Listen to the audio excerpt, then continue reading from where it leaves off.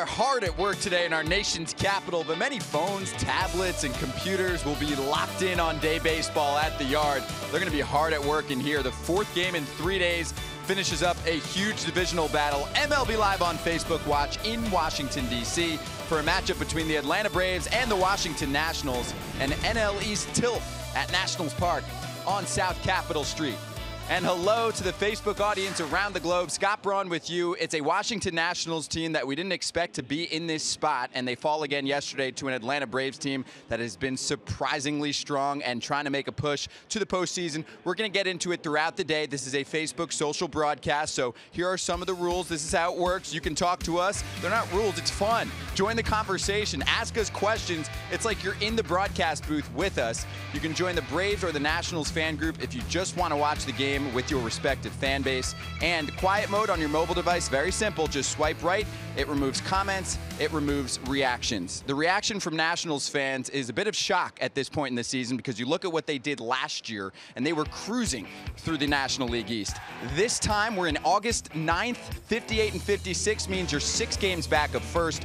The Phillies were blanked yesterday by the Diamondbacks. The Braves were victorious, like I mentioned, so they improved to 62 and 49, a half a game away from the division lead and just one game back of that first wild card. If everything ended today in terms of the regular season, the Braves would be in the playoffs, and you can see the Nationals on the bottom of your screen. They would be out of a wild card spot by five and a half games. And in yesterday's game, they didn't just fall score-wise.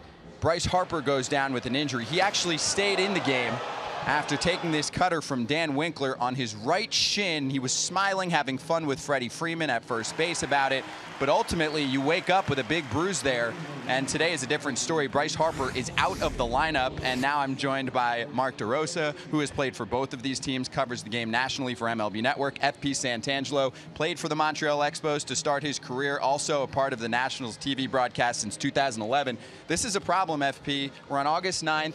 The Nationals have a deficit, and now no Bryce in the lineup today. Yeah, you got a must-win game. No Bryce Harper. His 28th home run last night, hitting 339 since the break, so he's been locked in. But when you talk about the Nats this year, it's been two steps forward, one step back. They just haven't been able to get anything going. And with the Braves today and how well they've played, it's a must-win game. They play the Phillies a lot more this year, but you got to stay within striking distance to catch them. And 32 games against teams above 500 to go. But the good news is the team in first place in the division, they play them nine more times Atlanta just three more after today. The Mets and the Marlins are their only sub 500 opponents, 36 games in 37 days. It's going to be a grind for the Nationals. and it's not going to be easy, Mark, because you look at Atlanta and what they're doing. Yeah. It's an infusion of youth, and it's working for them. Is that what you're seeing? Yeah, 100% an infusion of youth, and it starts at the top of the order. Ronald Acuna Jr., 17 games since he's gone to that leadoff spot.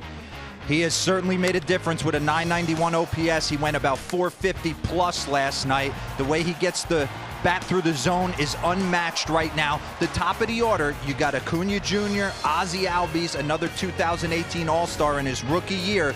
But don't get it twisted a little bit. There's two veterans that back those dogs up right there in Freddie Freeman and Nick Markakis that kind of make this, this infusion of youth kind of work. And I think they're playing with house money. They're a scary team right now. And it's crazy when you visit both clubhouses. and I don't know what that is. FP, help us out. A little energy shot drink before a day game after a night game. I get it. get it in you, boys. Here we go.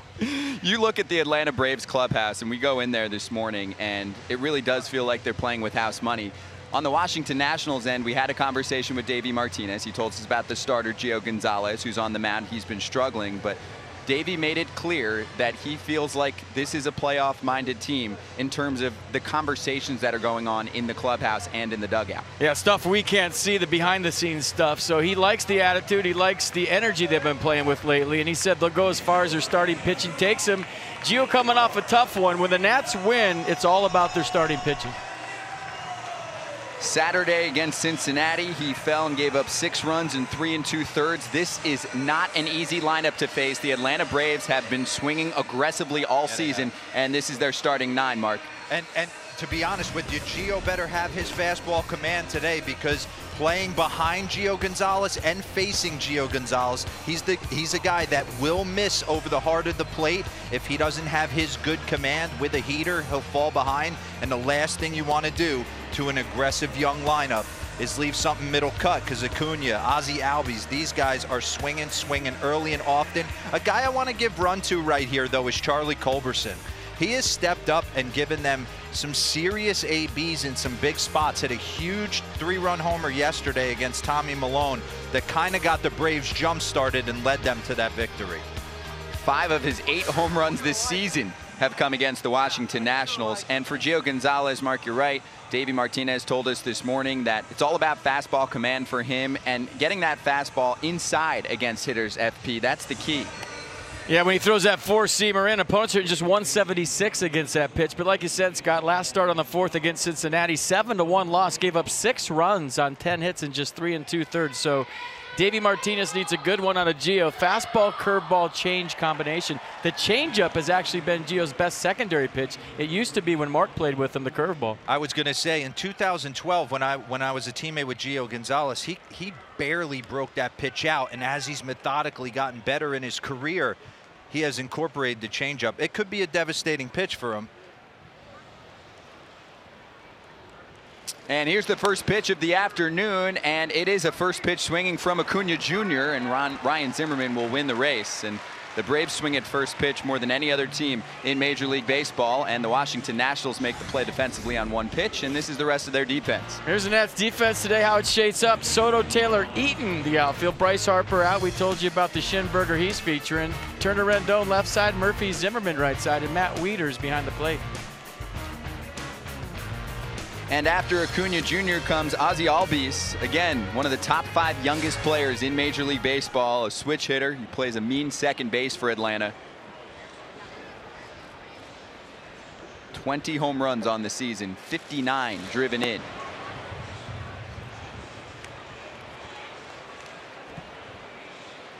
Steven said who's playing third base for Atlanta? That would be Charlie Culberson today and Anthony Rendon for the Washington Nationals. Gio was trying to milk that into an out. Did you see that? He picked it up and was going to throw it to the first. Hey, if you're not cheating, you're not trying. Well, he's in a rut. 637 is the earned run average in his last 11 starts. And he will be a free agent after this season.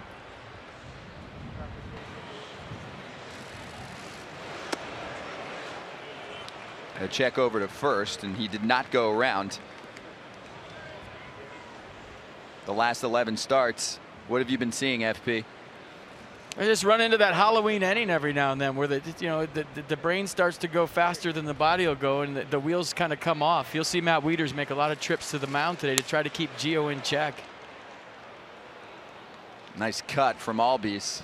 It's fouled off down the left field line. Two balls and two strikes. It's just so funny to sit and watch these two guys at the top of the order, the modern game. I think I, I, am old school with a blend of new school, but man, to watch Acuna swing at the first pitch and ground out to second base, I can't help but think of if we would have done that in our day, you come back Bobby Cox, you might not might not be in the lineup. But the analytics say, let the young guys pull the trigger. It's a different game. I think a better game in a lot of ways, too. I'm enjoying watching the young players around the league, especially in the NL East. 3-2 off the end of the bat, and it's into center field for a base hit. First hit of the day for Atlanta, Ozzie Albies, the two-hitter reaches. And the three-hitter and NL MVP candidate, Freddie Freeman, will dig in next. His on-base plus slugging percentage against Gio Gonzalez in his career over 1,000. Is that good? I heard it's good. I think what makes makes Freddie so lovable is, is, is the fact he's starting to get the national exposure. I think this year he's always had it amongst the 749 other baseball players on any given day. It's just he handles left-handed pitching. He handles right-handed pitching. He hits for average power. He'll play the small man's game. He does everything that's asked of that three-hole. Yeah, 10 game hitting streak. That's his third double digit hitting streak of the year. So he's just a model of consistency to your point. And a very simplistic swing, choked up a little bit, wide base, not a lot, not a lot of moving parts. So he never really goes into those big valleys throughout the course of a season. and the second best OPS against left-handed pitching as a left-handed batter. Only Christian Yelich is better. Outfielder for the Milwaukee Brewers.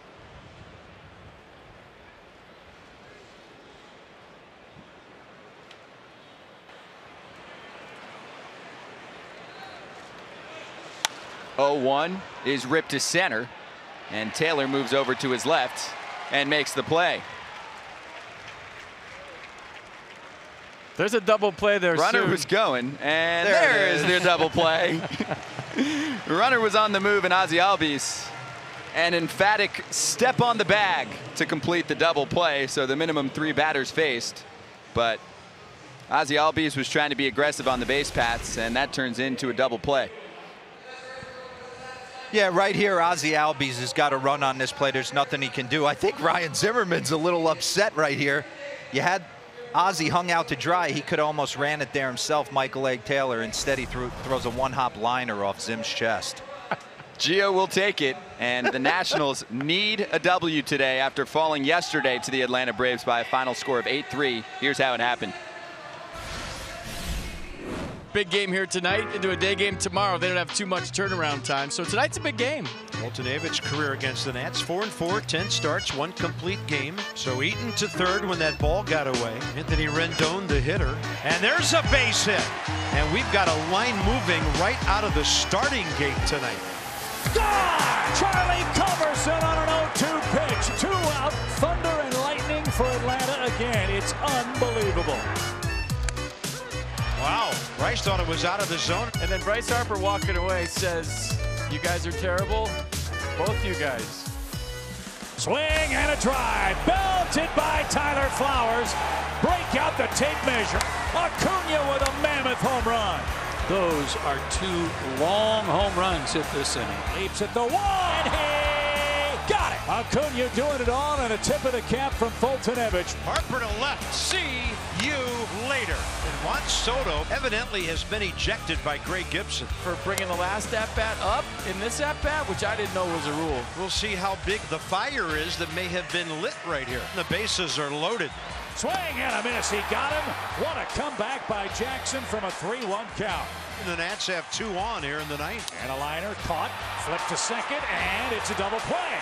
One ball, two strikes to Taylor. It's caught on and missed, and that's your ball game. Braves have taken two out of the first three in this series.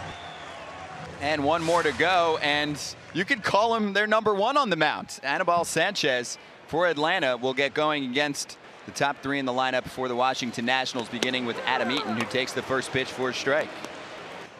I think the beauty of Anibal Sanchez sitting with Brian Snitker before the game, and you guys were in there as well, is the fact that he can slow you down and then speed you up. It makes his heater play play a lot hotter than 90, 91 miles an hour. What surprised me was, I think FP, you asked Brian Snitker if he would be the wild card starter for the team, and they said yes. Yep. There was no hesitation. I got to be honest. I, I was shocked by that. I, I I'm not buying that. Why? Get Braves fans involved. I'm not In the buying comment that. section, do you think Anibal Sanchez should be the Braves starter if they're in a wild card game? Would he be your guy on the mound with your playoff lives on the line? Let us know. I say yeah because he's got the experience. You have one game to determine whether you move on in the playoffs. This guy looks like he has ice water in his veins. Plus, as a hitter, when you're amped up for a one-game scenario, I'm swinging. I can hit 98 from Foltynewicz in a one-game scenario. I don't know if I can hit a 76 mile an hour curveball that's bouncing. Yeah. I go to flip side. If I know a guy can't beat me with his fastball in a one-game playoff, I'm feeling pretty confident rolling to the yard. If I know I got to handle 98 with an exploding slider like Mike Foltynewicz possesses, if he's on, there's not much we can do. He gets 89 miles per hour, middle of the zone past Adam Eaton, and the strikeout to start his day. And the rest of the Nationals lineup set up like this. Of course, no Bryce Harper today, FP. 102nd lineup for Davey Martinez today out of 114 games, and there it is. He says he likes Eaton and Turner at the top because if one makes it out, he's got another leadoff hitter coming right behind him. Juan Soto moves into the three spot, and you saw the rest. So he's had to shake up the lineup a lot this year because of injuries, and I think he just likes to shake it up. Speedy Trey Turner, the shortstop.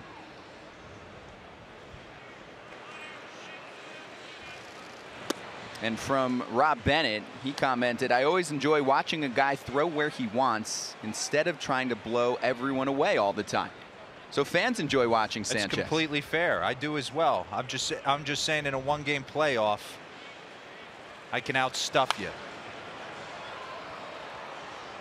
What about the excitability factor? What about the experience factor? You think in a one game that doesn't matter? Just go out there. I- And, I- yeah, I think it. I think it definitely matters. I, I, I also think, and, and this is just me. It's case by case. John Smoltz thinks you got to play the wild card game as an extension of the division series, trying to win 12 games. He, he feels like you don't have to run your number one out there. I'm a big believer that the wild card game you really aren't in the postseason yet. That's just my. That's just the way I, I view it. I got to do everything in my power to get into that five game division series, and then I'll see see how it shakes out. plus, do you really get a chance to pick your starter in that game if you're playing into Yeah, exactly. that game? I'd take that guy with the sunglasses on in a one game scenario any day. That's right. Him. Well, he pitched the other day. It was a 3-1 loss. Two runs given up by Kelvin Herrera, who lands on the disabled list for the Nationals, as Trey Turner works the count full. And fans all over the place with their responses. Charlie said should be Folty. I understand the experience and poise, but got to go with Folty, who can be unhittable Yeah. at times. And that's delivered into left field. It's a payoff pitch base hit for Trey Turner and a one-out base runner for the Nationals. Sometimes the barrel's overrated. You see the cutter kind of backing up, and Trey Turner hitting it off the label, drops it in nicely. Now the Nats have 31 stolen bases on first. FP, do we get the line? Well, no, it's a face. You want me to say there goes a no hitter? Yeah. You know, that, that's a tribute to Felipe Alou, who was the biggest influence in my baseball life and maybe in my life. And he would say it to the bench every game when the Expos got their first hit. He would say, There goes a no hitter.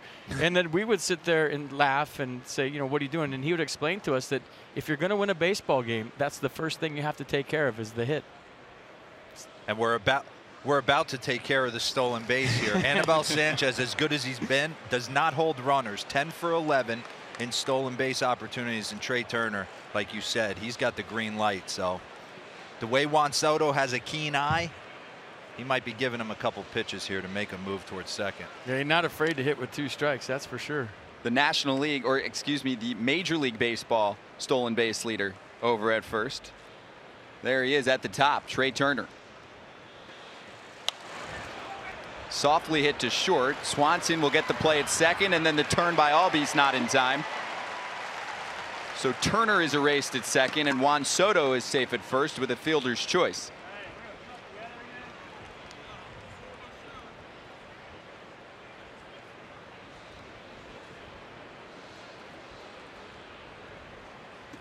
The stolen base is so much harder today than back in the day with replay. And if I touch you on the heel before the tip of your finger gets to the base, I mean, how many stolen bases would Rickey Henderson have taken away from him if there was replay? sliding over the bag. So it's such a valuable play now. That's why you see you don't see too many guys stealing anymore because it's hard to steal a base at this level with replay. Now Anthony Rendon batting cleanup today. More responses flowing in about who would be the starter for the Braves in one game. We pinned one from Tarver who said, I like Sanchez, but I think with what Newcomb and Folty have done this year and the pure stuff they have, you have to go with one of those two. And I also think it, it bigger picture, what the Braves are building, what they're about, homegrown talent. If I'm going to make it to the division series, I'm going to hand it to a guy that has kind of come through my system, not a guy I picked up late in spring training and kind of nickel and dimed my way into the starting rotation. The Braves did not expect a sub 3 ERA from Sanchez. His ERA had spiked up ever since leading the American League in that category in 2013. It was north of six last year.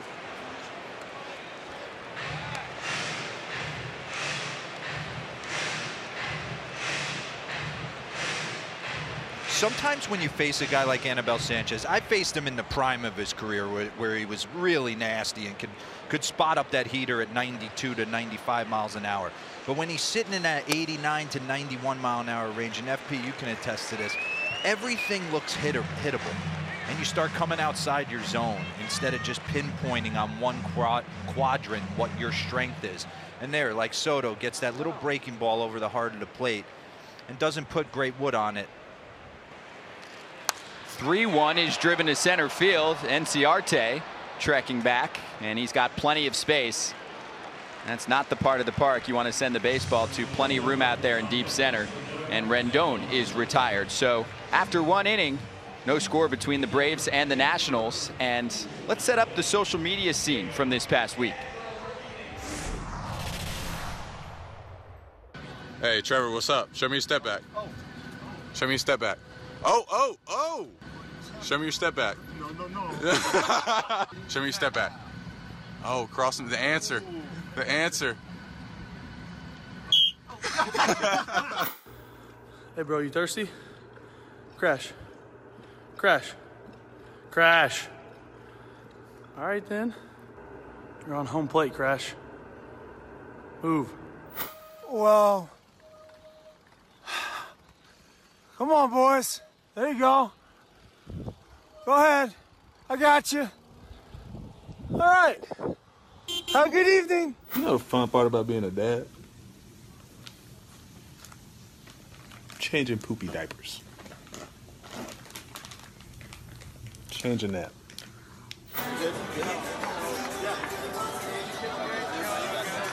Anything else? How about a picture? How about a picture?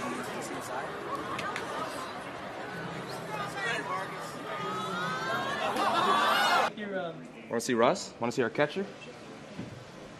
Hey, Russ, say what up real quick. Hey, how's it going, buddy? nice to meet you. I'll see you later. Enjoy the game, okay? See you, man.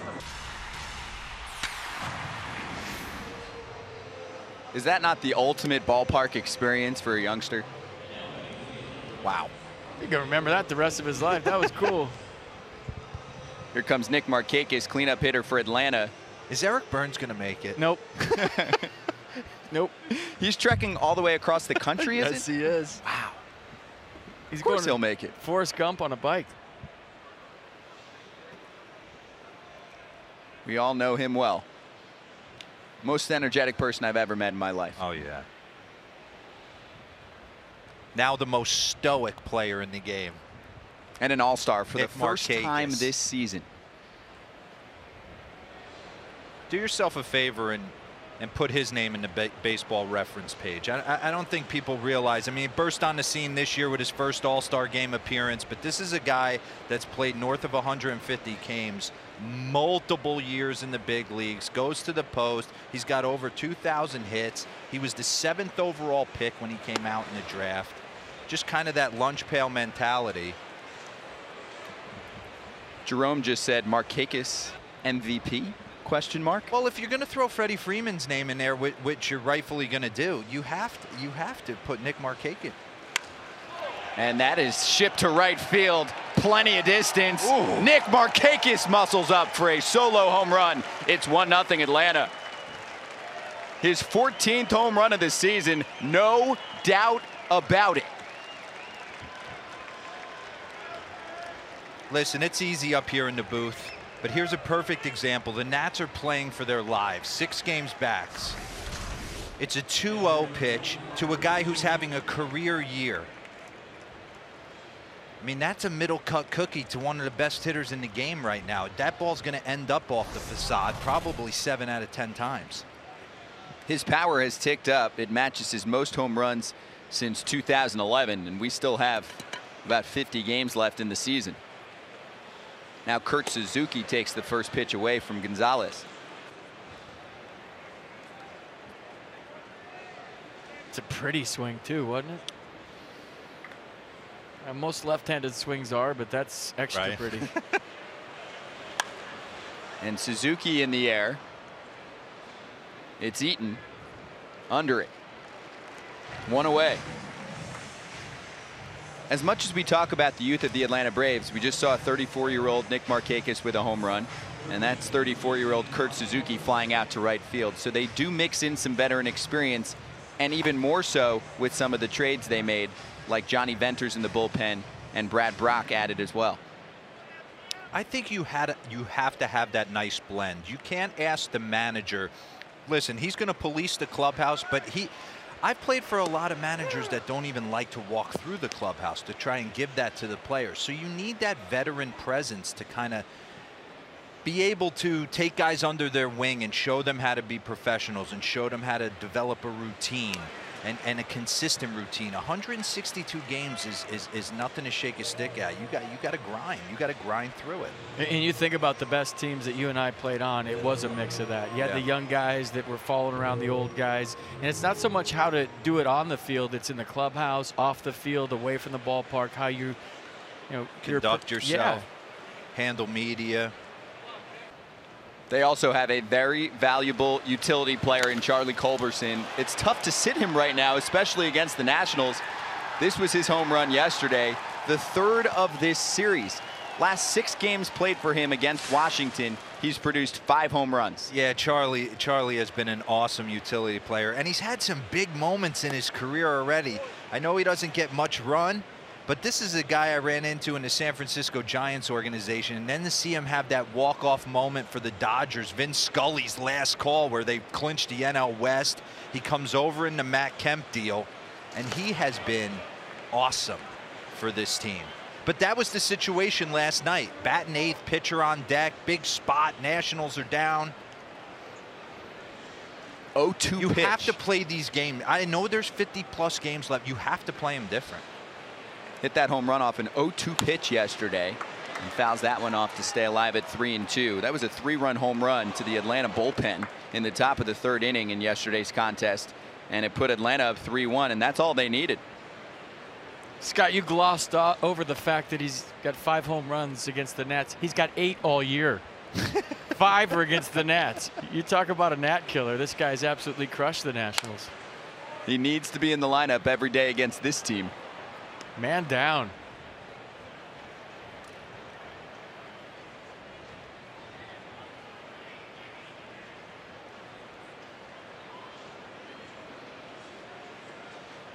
Culberson is four for nine in this series, three home runs and five runs batted in.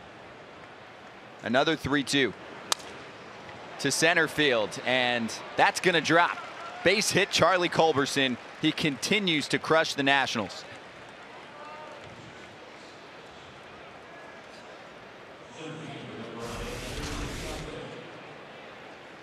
Yeah, nice piece of hit, and he doubled up on the changeup. He went to it 2-2. Then he tried to go heater in.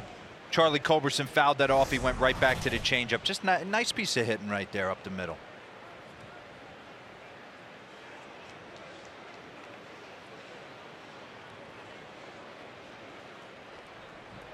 Ender Inciarte, who's been sitting often against left-handed pitching, but he did not start in yesterday's game. Part of why Brian Snitker puts him in the lineup today. His 11 for 25 career mark against the starting pitcher. And part of the reason no other Braves are wearing eye black is because he's got it all on.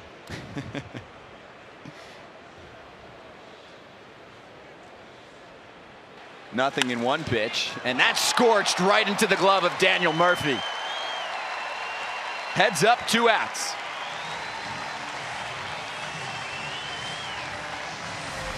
You know, Murphy's played a solid second base for the Nats since he's been here. You remember him as a New York Met. He was playing third, he was playing second, he was playing first. They were moving him all over the place. This year, coming off the microfracture surgery, not as effective as he was the last couple of years, but his defense as a Nat has been way better than anybody around here expected.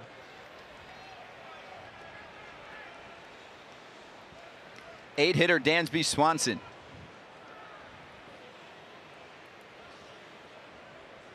This second inning started with a Nick Markakis home run, the difference in the ball game. And then two batters later, Charlie Culberson base hit. Wait, didn't this guy just hit? Does he not look exactly like Culberson? Are they hitting out of order? Chime in from the comment section. Culberson and Swanson.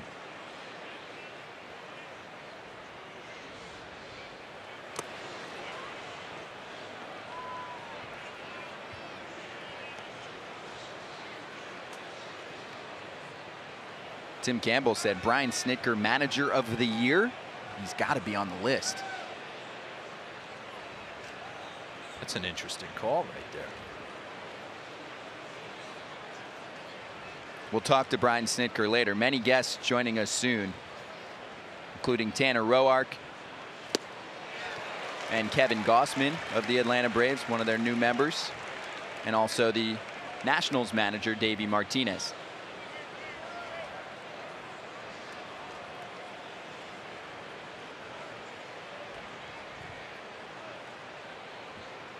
Any overachieving team, so the Philadelphia Uh, yeah, Phillies and Gabe Kapler. After the start he had to the beginning of the year, the first week of the season, everyone was calling for uh, a potential replacement. He's righted the ship and he has them in in first place in the NL East.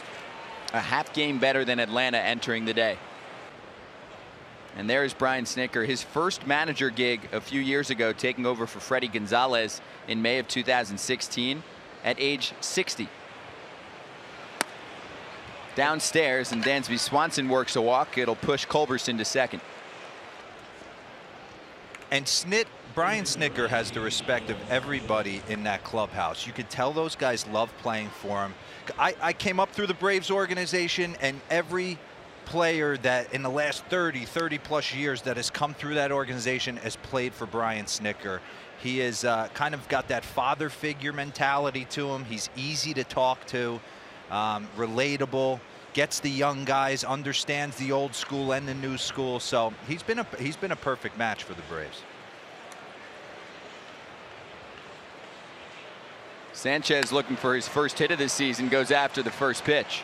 Talk about this last night. I think he's the most underrated manager in the big leagues. And maybe from people outside of Atlanta that don't get to see this team play every day, he runs a great game. His Yeah. guys play hard. He has them ready to play every day. He's always got the right guy up that's available on that day in the bullpen. But watching him over the last couple of years, I think he runs a nice game. And in talking to him throughout the course of the year, he said uh, the, the new regime, Alex Anthopoulos, Perry Minasian, some of the newer uh, front office that came in from, from LA, brought a lot of analytics, mostly defensively, that have really helped him out. Where to position Markakis, where to position Swanson, shifts, where to put guys in the right spot, how, how to get the most out of certain players. So uh, I, I think it's been a nice, a nice blend for the both of them. 0-2. We'll see if Gio Gonzalez can get rid of Anibal Sanchez in three pitches. He does. Goes with the breaker and picks up his first strikeout of the day. But Nick Markakis leads off the top of the second inning with an absolute smash. Pulled to right field. It's his 14th home run of the season. And it puts Atlanta up 1-0 as we head to the home half of the second inning here at Nationals Park. A day game, MLB Live on Facebook Watch. Scott Braun, Mark DeRosa, FP Santangelo and Anibal Sanchez with the lead. We'll see him working in the bottom of the second inning. And I like what uh, Walt Weiss told us, bench coach for the Atlanta Braves. He said this morning he has plus plus feel. Yeah, he and what that means, he kind of can read the hitter very well. FP can attest to that. He knows the guys that are going to be over aggressive. There's my old mentor, Walter Weiss. He could get it done and don't even think about testing him. He knows that like ultimate fighting stuff and put you in a pretzel in a nanosecond. But Anibal's able to his his fastball I said earlier plays faster. And what I mean by that is you see so much slow stuff. He'll, he'll sometimes throw this butterfly pitch that he almost you can consider it an eephus where he'll nickel and dime you with some breaking stuff and some good feel for a changeup. And then when that 91 kind of plays 95 and the ability to dot up. How do you face a guy like this? What's your game plan? Do you sit soft? Do you sit in a zone? How, how do you hit I- against him? Well, right here, and, and we'll look at it 2014 through 2017 for his right handed pitching. Not so good, kind of missing over the heart of the plate. Look at him down and away. So, what does that tell me? FP, he, he, he's dotting down and away. He's not so much concerned about in. I'd have to tip my hat if he punched me out on a pitch in. I'm leaning out over the plate on this guy. I'm eliminating pull side. Easier said than done, but it's going to keep me on the off speed stuff. And in today's game, I know I can rush a ball to right center for damage. So why would I try and cheat? Maybe if I get in count leverage 1-0, 2-0, 3-1, I might take a flyer and, and try and pull something in the seats. But for the most part, this graphic is showing you He is not missing over the heart of the plate to a lot of right-handed hitters. Do you get on the plate more? Do you change? I never moved. Me neither. I never moved in the box 14 years I played. Never. Me same. That's a mis- I I think it's a mistake. If I could go back and do it, I think I would play the game a little bit more freer. But we were we couldn't we couldn't play the game like these kids. We were playing a different game. Right, wrong, or indifferent.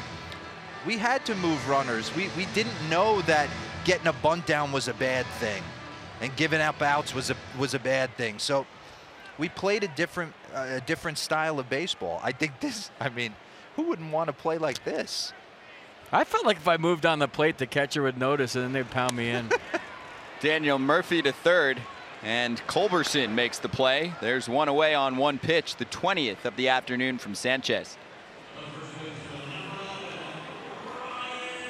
Actually had a question. How how we doing fan interaction? Yeah. wise? Well, Corey said with Dansby Swanson struggling at the plate and Culberson producing, do you see Camargo going to short and Culberson playing third?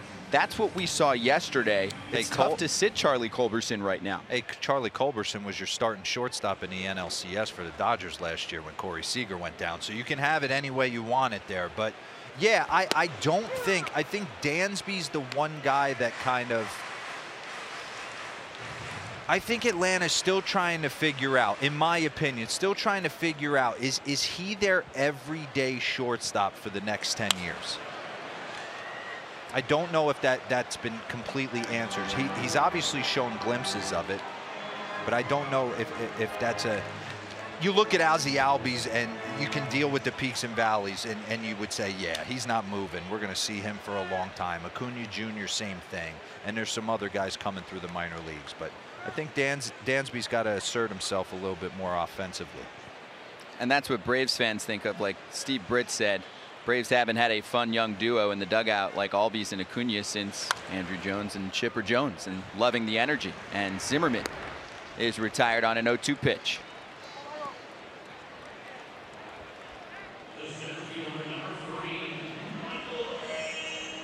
And there are the two, as one fan put it, cousins. I would say more like brothers. Culberson and Swanson. I'm serious. I don't know which one's which. Swanson on the right, Hey. Culberson on the left, but it's difficult. They're both good looking. So let's get that out there. They have the same facial hair, the same lettuce on the back. Everything's the same. Don't they sign each other's autographs? Somebody said something about that. I buy it. This is Michael A. Taylor, center fielder today. No Bryce Harper in the lineup if you're just joining us. Hit on the right shin last night, out of the lineup today, but a day-to-day injury for him.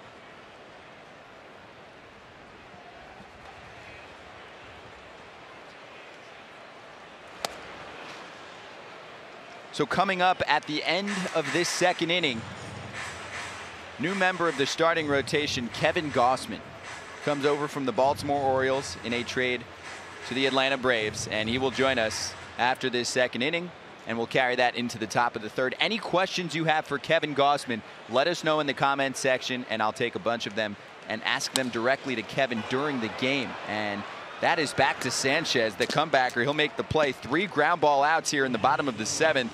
Took him just seven pitches to pull it off after two innings. Atlanta with a 1 0 lead thanks to Nick Markakis with his 14th home run of the season in the top of the frame. MLB Live on Facebook Watch, Scott Braun, Mark DeRosa, and FP Santangelo. And I think this was the line of the week when the Braves acquired these players because you'll notice that three of them come from the Baltimore Orioles. Kevin Gausman said they're calling it Baltimore South in Atlanta. What I love, you look to, you start on your left. Jonny Venters, born and raised in the Atlanta Braves organization, makes his home there. So for him to come back, feel good story. Brad Brach shores, shores up a young bullpen. Same with Darren O'Day if he's able to get healthy. The other two guys, Adam Duvall, 30 plus bombs multiple times for the Cincinnati Reds. So I think they're both upside plays. Kevin Gausman was the fourth overall pick in the draft out of LSU. And I think in today's day and age, if you get picked that high, you just need that one coach to unlock you. And this might be a huge upside play for them. Hello, everyone. watching around the globe. Here we are. Yes. Thank we, you, we FP. are high up here, by yeah. the way. Well, FP, this is your spot. This is your home. Yes, we are. They're watching around the globe, but we're watching the globe. And We're FP, being here in 2012, none of these buildings. I walked to the st- to the yard today, and it's like this place has exploded in the last five years. You know what nobody talks about, and I really haven't talked about it, how the ball travels here when it's warm. It's because all these buildings now are blocking any sort of breeze. That I mean, back in the day, the, the wind used to come down Half Street, and now it doesn't with all these buildings. So this has turned into a hitter's ballpark. Well, let's talk to Kevin Gausman, Atlanta Braves starting pitcher, joining us right now on MLB Live on Facebook Watch to watch the top of the third inning with us. Kevin, how are you today? Thanks for hopping on. I'm good. Yeah, thanks for having me. So we were just saying how was it your line or did you hear the line from someone else when you come across with Brad Brach and Darren O'Day? It's Baltimore South in Atlanta. Yeah, you know that's uh, I heard, just heard that from a couple other guys, and uh, yeah, you know we got a ton of guys that um, we know we're we're part of some really good teams in Baltimore. So uh, you know I think uh, Darren O'Day obviously he's pitched in a couple World Series too uh, before joining the Orioles. So you know he kind of brings in that uh, that veteran factor out there. So we have a question coming in about the difference in clubhouses between Baltimore and Atlanta. What have you observed so far? Uh, you know, I think the biggest thing I've noticed so far is uh, just the youth of this team. You know, how many uh, how many young guys they have on here, and just a lot of uh, you know talented young players that you just kind of let go out there and, and play the game. And uh, it, has been fun to, to watch. And you know, my first game here, uh, Acuna had a leadoff triple, and, and we stole four bases before you know the third inning. So. You know, it's those types of things that you notice, you know, big difference between uh, the American League East. Yeah, another big difference is you pinch hitting on Tuesday. Tell me about that. Did you get ambushed? There's no way you took practice swings, but you went up there and threw a good AB out there. Yeah, no, I mean, I'm, I'm used to laughing when a coach comes and tells me that. Uh, so it was it was a little bit different. Um, you know, I noticed that that Walt was serious when he told me. So um, you know, get your heart bumping. Uh, kind of reminded me of pitching out of the bullpen. You know, that phone rings and, and uh, someone tells you to get going real quick. You know, I went up there with my left shoe not tied as tight as my right and, and that type of thing. But, um, you know, once you get in there, it's just about competing. And, and luckily he, uh, you know, he didn't throw me very many strikes. So, uh, you know, I was able to get on base. Acuna Jr. lined out to Trea Turner. Now the first pitch, Ozzy Albies takes a hack and sends it to left field. Juan Soto puts him away. Hey, Kevin, Mark DeRosa here. I want to ask you, A, did you know kind of you were going to get dealt? And B, were you shocked it was the Atlanta Braves? Kind of take me through the, the day of getting that call.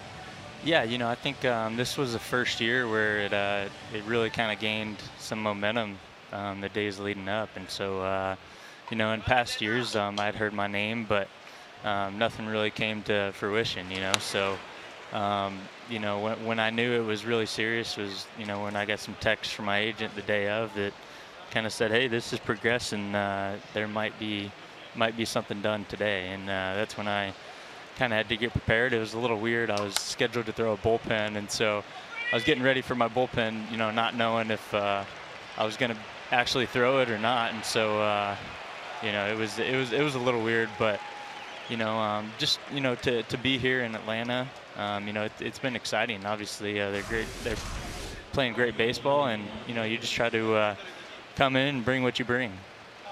That's a double with two outs. Freddie Freeman planted at second base and hustling for two and getting in there. We're talking to Kevin Gausman. We'll mix in a few more questions. And this one coming from Mike Mitchell. Have the Braves suggested you do anything with your pitch mix, location, or sequencing? Yeah, you know, when I first came over, um, I had a great talk with, with Alex and uh, and Dave Wallace, and, and you know they just kind of um, brought brought some some uh, information to me about you know really the last year and a half and kind of what I got away from doing, and uh, you know for whatever reason I was I was getting further towards the first base side, and um, you know they kind of said that that maybe had something to do with you know a little bit of my spin rate going down on my fastball, and and uh, you know, it, it not playing up as much. And so, um, you know, I think one of the biggest things they, they said to me was, you know, hey, we, we believe that you're you're a guy that can pitch up in the zone uh, effectively and and uh, with two strikes and, and early and often. And so, um, you know, and I know when when I'm going good, I'm able to do that, and and my split plays off of it, and, and my slider as well. So, um, you know, it, it it's uh, you know it's great when you have two catchers like like these guys that come in and they're very well prepared, and you know, Flowers is, is unreal back there, and and Zook is really good too. So, you know, when you have guys like that, it makes uh, the transition pretty easy. Hey, Kevin, how, how awesome has it been for you to come over here and to get back with your old teammate and watch the season Nick Markakis is having? Yeah, yeah, it's been great. Um, you know, to be able to to watch him play and you know be able to be an all-star this year for the first time, and and that's pretty crazy because you know watching him play every day in Baltimore for a couple years that that I was able to do that. Um, you know, I don't think you get a feel for how good he is until you watch him play every day. Yeah. And uh, you know, he's he's the type of guy that every single at bat he's locked into and uh, makes the pitcher work, fouls pitches off, and and you know always comes up big in, in big situations. And uh, you know, he's not a guy that's going to get too big with his swing, and and uh, never really looks like he gets fooled too much. So uh, you know, and I I think that's just because he's he's been around so long, and um, you know he has a great approach up there. 2-2 to Nick Markakis is shipped to right field. It's a base hit, and Just Freddie like. Freeman is coming in. That throw is money, though, from right field. Adam Eaton gets him. And the tag placed on by Matt Wieters. Kevin, we'll let you go real quick from Mitch. He wants to know if you're still eating powdered donuts between every inning. No, not anymore. I wish. I wish I could do that. I'm getting a little bit older. I can't be doing that anymore. Amazing. Thank you so much, Kevin. Good luck the rest of the season, okay? Yeah, thank you guys. Great play from Adam, Adam Eaton on one hop for Matt Wieters. Perfect placement. And Freddie Freeman is toast. I'm sitting up here wondering, do you walk a lefty with first base open that's leading Major League Baseball in hits to get to a righty? Do you like the left-on-left matchup, or would you rather go for Kurt Suzuki and then Nick Markakis gets the base hit? The guy can rake, and then Adam Eaton with a good throw. Good turn by Freddie Freeman at third. It was just a perfect throw and tag. I remember when Adam Eaton was still a White Sox and he moved to right field and his defensive metrics went through the roof. I think you could argue he was one of the best. He was might have been the best defensive right fielder in the game for a stretch there in the American League. So to see him go over here with the net, he just hasn't been healthy. You just haven't seen the best of Adam Eaton. When he's on the field, he creates problems defensively, off- offensively. And we just look, I, I think back to that trade being on the desk when they traded the three pitchers Giolito, Reynaldo Lopez, Dane Dunning, another top prospect. For Adam Eaton, everyone was blown away. But I think kind of like Nick Markakis, to see Adam Eaton, you can attest to this, see him play every day, a healthy Adam Eaton, he causes problems. He does, and and he's throwing better now because his legs are underneath him. Early on when he came back, he didn't have that leverage to throw with, and his arm wasn't as strong. That's a, a testament to how he's feeling by making a great throw right on the money. Anibal Sanchez not feeling well after the comebacker hits him. He made the last play of the bottom of the second inning and removed from the game. Wes Parsons replaces him, and he'll have some long work to do he takes over in the third inning. The 25-year-old rookie, six foot five, out of Clarksville, Tennessee, and in the minor leagues this year, a 2.47 ERA in 20 appearances. This is just his work on the screen in Double A with Mississippi, a 1-2-3 mark. So he's been awesome in the minor league level. Now he'll get a major league test against the divisional opponent. Check out the play again. Michael A. Taylor with a one hopper. Where to get him in the left calf? Remember, Max Fried in the first game of the series only lasted two innings. and Now the Nats knock another Brave starter out early on a comebacker. And this will be the major league debut for Wes Parsons. Emergency duty in the third inning. Anibal Sanchez was rolling, just a base hit given up to Trea Turner. He had retired five in a row. You're, up- you wonder if Wes Parsons can feel his legs right now. Sometimes not knowing that you're going in and just being in the middle, getting- you just don't even know where you're at right now. He'll face Matt Wieters, then Gio Gonzalez, and back to the top of the order in Adam Eaton after that. Well, there's a famous story about a young player on the Montreal Expos who was told to get to the ballpark early and ends up about, what, eight hours early to the park, FP, for your major league debut. And Wieters sends that to right field. Markakis puts him away. There's one out. Got there at noon for a 7:30 start, and the clubhouse was closed. they had to call Bill Stoneman, who was the GM and president of the ball club, down to open the clubhouse. And he said, "Don't you think you're a little early?" I said, "Man, I've been waiting my whole life for this. There's no such thing as early." And I got there, my jersey was hanging up, and Felipe Alou put me in the lineup that night because I got there so early. I went two for three and stayed there for seven There you years. go. So, all you kids, when you get called up, get there eight hours early. You'll play the first night. And you won't sit around and be intimidated by the third deck. Here's Gio Gonzalez. And we will talk to his manager, Dave Martinez. First year with the Washington Nationals. We'll take your questions now and relay a few of them to the manager during the game here on MLB Live on Facebook Watch. Big hack from Gonzalez. I think it's one and one. I think an interesting note was just put in my ear by Keith Costas, researcher extraordinaire. He said Wes Parsons actually in junior college stepped away from baseball to focus on golf for a minute and then came back. Bad bunker play. He had to get back out on mound. Undrafted out of Jackson State Community College and signed with the Braves in 2012. Oh yeah, apropos with the last major, getting ready to tee off. The first big league hit he gives up is to the opposing pitcher. That's Gio Gonzalez, and he's aboard for the Nationals with one away here in the bottom of the third. That doesn't count. Why not? Totally caught. It's a belt tie Can't tell fastball. that story. Can't tell the story. That's like David Ross. David Ross's first home run in the big leagues was against Mark Grace, mopping up a position player. You can't tell that story. Well, by the time he's my age, it'll be, you know, Bryce Harper got the first hit off me. No one's going to know the difference. And that's off the pitcher. And ricochets into left field. Adam Eaton has himself a base hit, and we'll see if Wes Parsons is okay. This just happened to Sanchez. Dangerous spot to be on the mound this afternoon. And here comes some personnel to take a look. Where did that get him? Ankle? Inside of his left foot, it appears. Wow. Right on the cleat. And this is the stuff, if you're a manager, Brian Snitker, you can't prepare for.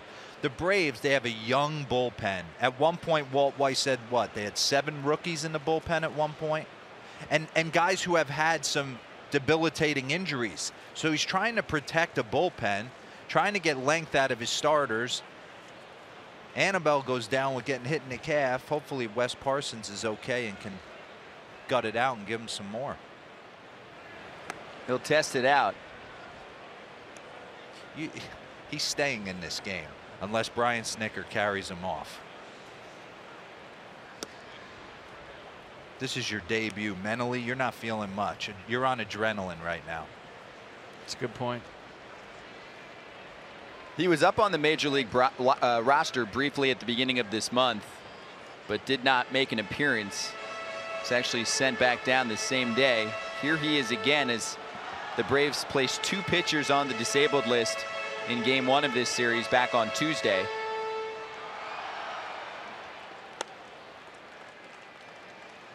Relief pitcher Shane Carle hits the DL, and so does Max Fried, injured in Tuesday's game. And now Trea Turner with two aboard for the Nationals.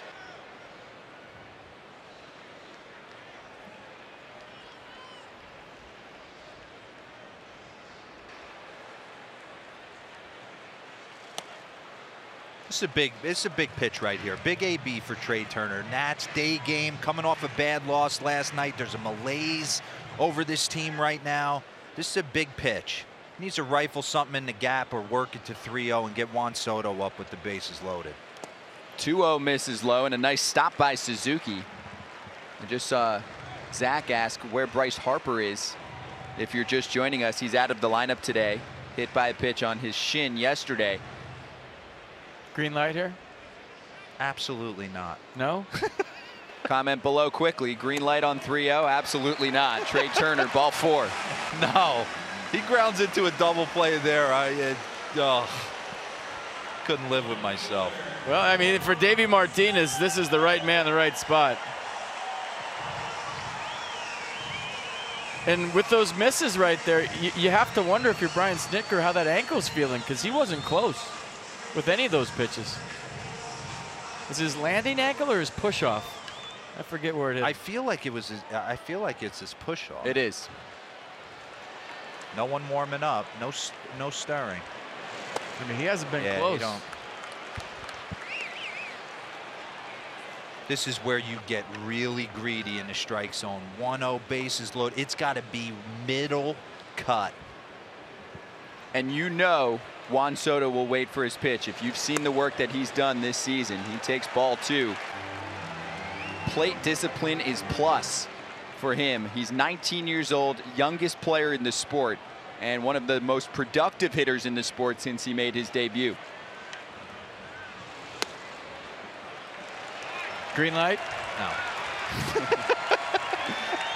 I got to ask you. I mean, you're rumored in every managerial job around the world every year, so I, I just want to see how you'd manage. I don't know I just got to. I hope he's not swinging right here. And the 3-0 is delivered at the bottom of the zone for a strike. It's three and one. Also, we just received official word about Sanchez. He exited with a left calf contusion.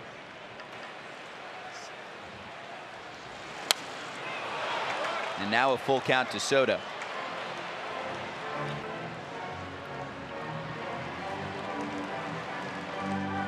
Nationals manager Davey Martinez joining us at the end of this third inning. Any questions you have for the Nats manager, let us know now. And that misses to Soto. Ball four. It's 1 1.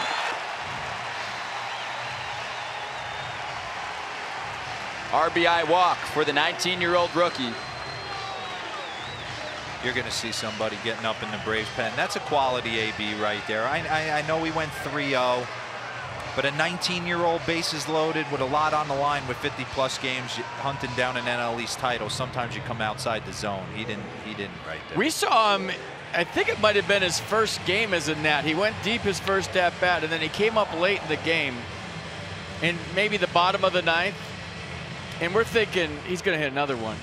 At 19 years old, he spit on pitches and took a walk. There's no way you and I at 19, no way. in a big situation in the ninth inning, would have even taken one pitch, let alone walk. And that's when you knew he had a good knowledge of the strike zone and he was mature beyond his years. Gio Gonzalez walked in to score the first run of the day for Washington, and now Anthony Rendon with the bases loaded and just one away here in the bottom of the third a ton of trouble for Wes Parsons. So for Sanchez, he delivered six of seven first pitch strikes to the batters he faced. The rookie Parsons has fallen behind to four of five hitters. And that first pitch is socked to deep left center field. Oh, Acuna it. Jr. looking, leaps oh. up and has it. A run's going to score, so the sacrifice fly for Anthony Rendon puts the Nationals up 2 to 1, but it could have been much worse on the Braves rookie's account.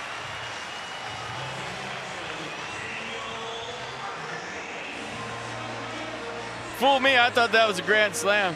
You saw the body language from up here. Anthony Rendon knew he had just missed it, just a smidge. Yeah, didn't rob one like he did last night. But a nice play, and Rendon will settle for the sac fly, and so will Parsons. It scores Eaton. It's 2 to 1 Nationals. And here's Daniel Murphy.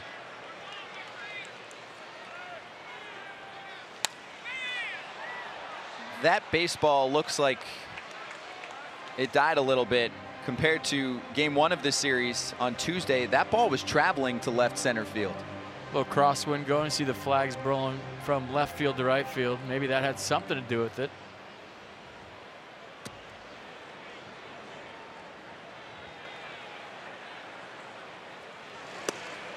Murphy lays off the 0-1. Only the 45th game played this season by Daniel Murphy. I think people forget not having him, not having him healthy. When he signed, he, he was coming off that monumental postseason run with the New York Mets. And then we're all like, who is the real Daniel Murphy? He signs a three-year deal with the Washington Nationals and proceeds to look like Wade Boggs with power for the first two years of it. And then has the microfracture surgery. And then, like you said, with Adam Eaton trying to get his legs back under him. He's been in a groove since late July. That's to left. Acuna Jr. all over it. So the Nationals grab the lead off the new pitcher, Wes Parsons. Gio Gonzalez with the base hit. And he would score on the bases loaded walk for Juan Soto to even it up at one apiece. A comebacker attacks Parsons. Control wasn't the same after that point. And some patient Nationals, including Trea Turner with a walk, and then Soto as well.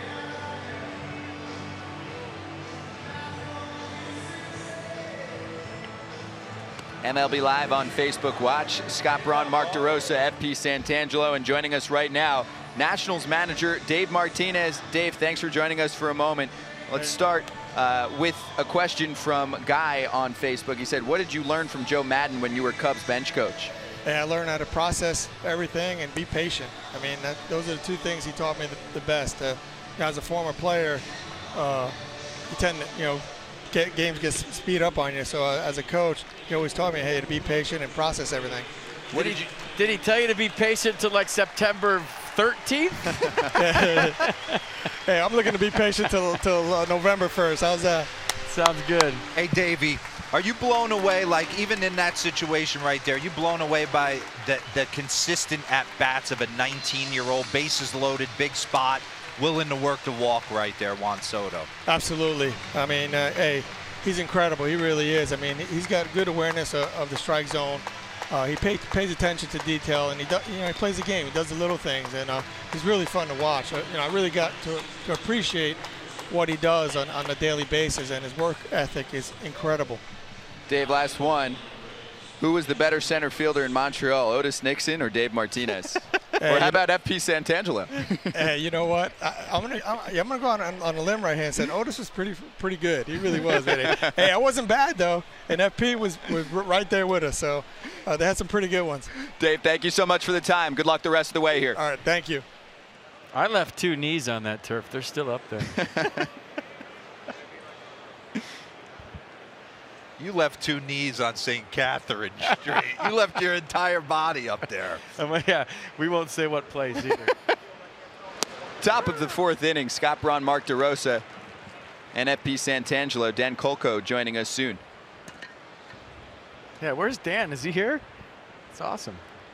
In the Facebook game with us. Dan has word on Gio Gonzalez very soon.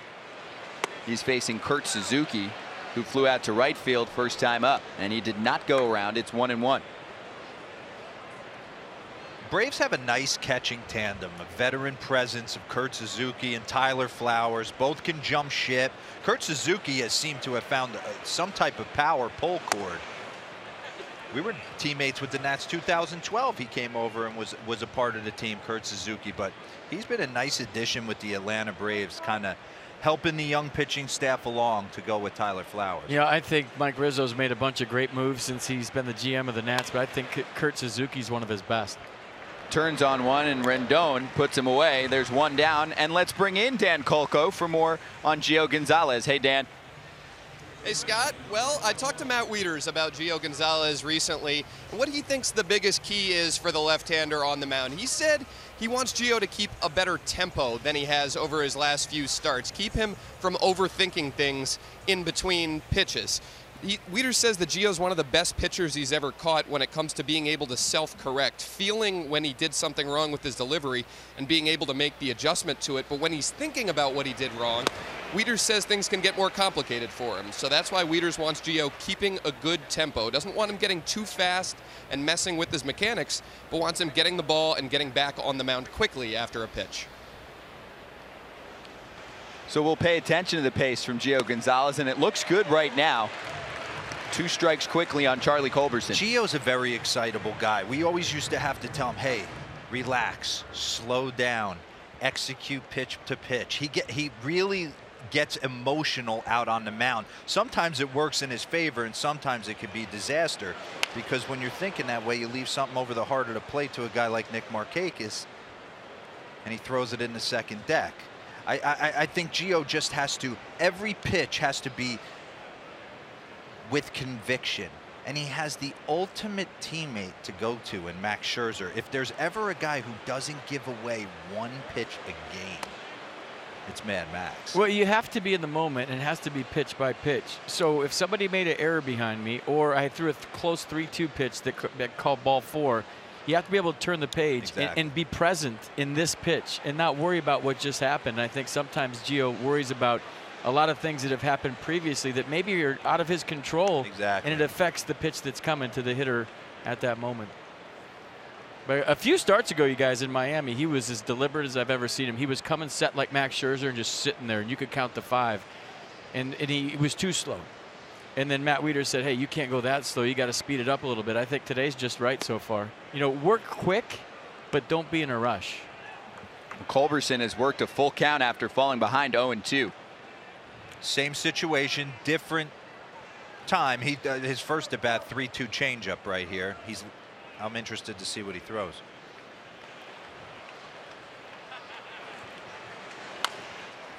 Three-two again, another test for Rendon, and that's the second out. Went right back to the changeup.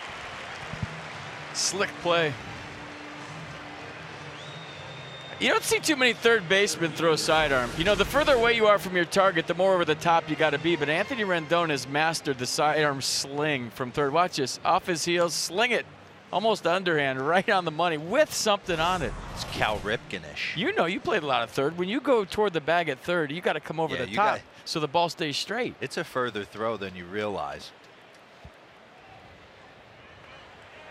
Always has his poker face on, Anthony Rendon. Davey Martinez told us this morning, even keel in the clubhouse every day.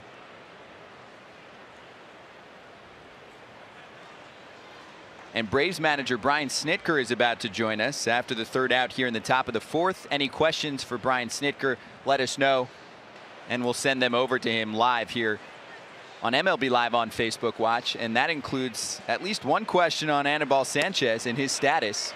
If someone wants to ask something about that, we'll see what he thinks.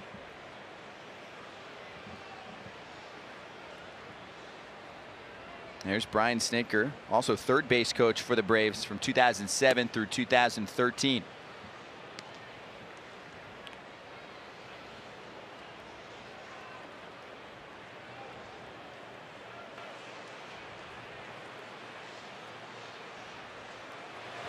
Ender Inciarte on the ground for Trea Turner. And three ground ball outs for Gio Gonzalez. Nicely done here in the top of the fourth inning. The Nationals carrying a 2-1 lead into the last of the fourth here at Nationals Park. So postseason probability in the National League East. Do I like this stock market status? That's from the beginning of the season. The Nationals were way up there. And now here's where we currently stand on August 9th. The Phillies at 69%. Look at the Nationals, though, still at 43% at this point in the season, and the Atlanta Braves at 39%. I bet we are going to receive some angry comments. Saying FP, FP, that's why you look at that. Even, even the probabilities are thinking the team's going to get hot at some point. And that is according to Fangraphs. Postseason probability. The Nationals at 43%. You know what's frustrating? You know what's frustrating? Walking through the Nats clubhouse today and seeing Stephen Strasburg and six foot six dominator on the mound. He's got. We got to get him back. He's got to get on that mound for this team. Well, let's talk to Atlanta Braves manager Brian Snit for, for about a minute. Brian, thank you for joining us. Okay. And let's start with Anibal Sanchez. How is he after being removed from the game after two innings? Well, it popped him in the calf pretty good, and he's having a hard time walking around down there, so we'll find out. Snit, is there a magnet on the mound? Wes Parsons takes one off the foot as well. Yeah, I know. Uh, uh, that's just what we need to. I want. I, I want to ask you, Snit. I want to ask you about managing a guy like Nick Markakis, and he doesn't get the national exposure. At least this year, he made his first All-Star team, but just kind of his everyday. What What is he like in the clubhouse? He's outstanding. I, I've told a lot of people, it's like you don't ever appreciate a guy like Nick until you manage him. Um, you see him on the peripheral and, and solid player, but how this guy goes about it, I, I, he's a machine. Um, prepares every day. Every day's the same. There's no highs and lows. Um, it, it's unbelievable, physically, mentally, how he, what he brings every day is just remarkable to me. Brian, thank you so much for the time. Good luck the rest of the way here. Thanks, guys. Braves manager Brian Snitker, There was a good one that came in at the last second from Scotty Smith saying, How do you find space to let Charlie Culberson play every day? I can partially answer that based on post game comments because Charlie has been playing so well for Atlanta, starting at third base today. He did still mention that he is in that utility role. Johan Camargo is the regular third baseman, just getting a day off. Well, sometimes, and you got two utility players Yeah, up here, you get overexposed. And what does that mean? Well, now the scouts start bearing down on you. The game plan is more intense, and you can get away with playing two or three times a week and get your knocks and do damage. But if you start playing seven days a week, you know, now they, they, they find your holes, you're exposed, and you have to adjust more. So he's right in his wheelhouse right now. Play a little bit, do some damage, sit next to the skipper for a couple minutes, then go out there again and do it maybe on Thursday. I mean, it's perfect the way they're using him. You don't want to overuse him. Ryan Zimmerman, the one-two, he goes after it, and the strikeout for Wes Parsons. I agree with FP. Being a guy that bounced around my entire career, there was excitement in the fact that I bounced around. I felt I felt like I got stale playing one position, and I didn't necessarily think I had one position I played outstanding enough to warrant holding that one spot. I felt like the excitement was the fact that I could nickel and dime the outfield for a day or two, play a little short second, maybe moonlight at first base, and it kind of kept kept me involved. Offensively, you, you, you do what you can. You grind as much as you can. You come up with a game plan. But I felt like it helped me on the defensive side. This is Michael A. Taylor. And a drive to deep left field. Michael A. Taylor muscles up for the solo home run. It's 3 to 1 Nationals. A lot of loft on that baseball for his sixth home run of the season. That's a big boy homer. You know, you talk about a guy that would play every day for a lot of ball clubs. Michael A. Taylor's got tremendous talent. He's as good a defender in center field as there is in baseball. And then the sneaky pop right here. Look where that thing's hanging. Bell tie right out over the plate. Here's real speed. Watch how far the Michael A. Tater goes.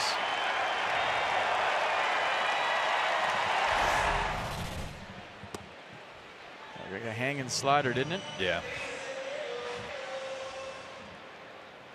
And now Matt Wieters, who flew out to right field in his first trip to the plate in the bottom of the third.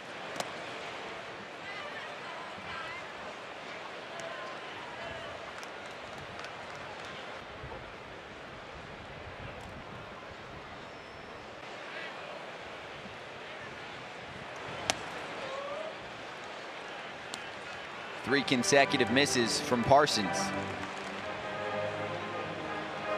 Do the nerves go away in your major league debut, or do they last for the whole outing for the rookie today? For me, it was so quick. I mean, my first at bat was against Randy Johnson. I pinch hit. It was like uh, I didn't even feel my body. So, yeah, I'm sure after after he got dinged off the foot or the calf right there, he kind of, I think, emotionally settled in.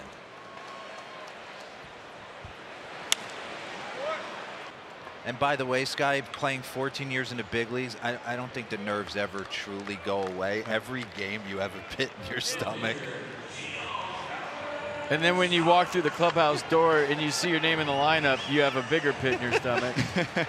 and if you don't, you relax a little bit. And how I knew the end was near is I was rooting for my name to be in the extra list and not in the starting lineup, and I knew the end was near. And then if, if I was starting, I would say, "Oh no, I got to play today. This stinks." Wieters popped out to short, and Gio Gonzalez came through with a base hit back in the third inning. Gio got him going. It began the rally. Two runs for the Nationals in the third, and now one more here in the fourth. Trying to even up this series. The last of four games here at Nationals Park between the Braves and the Nats. And that included a doubleheader on Tuesday, which was split, and then the Braves took yesterday's game 8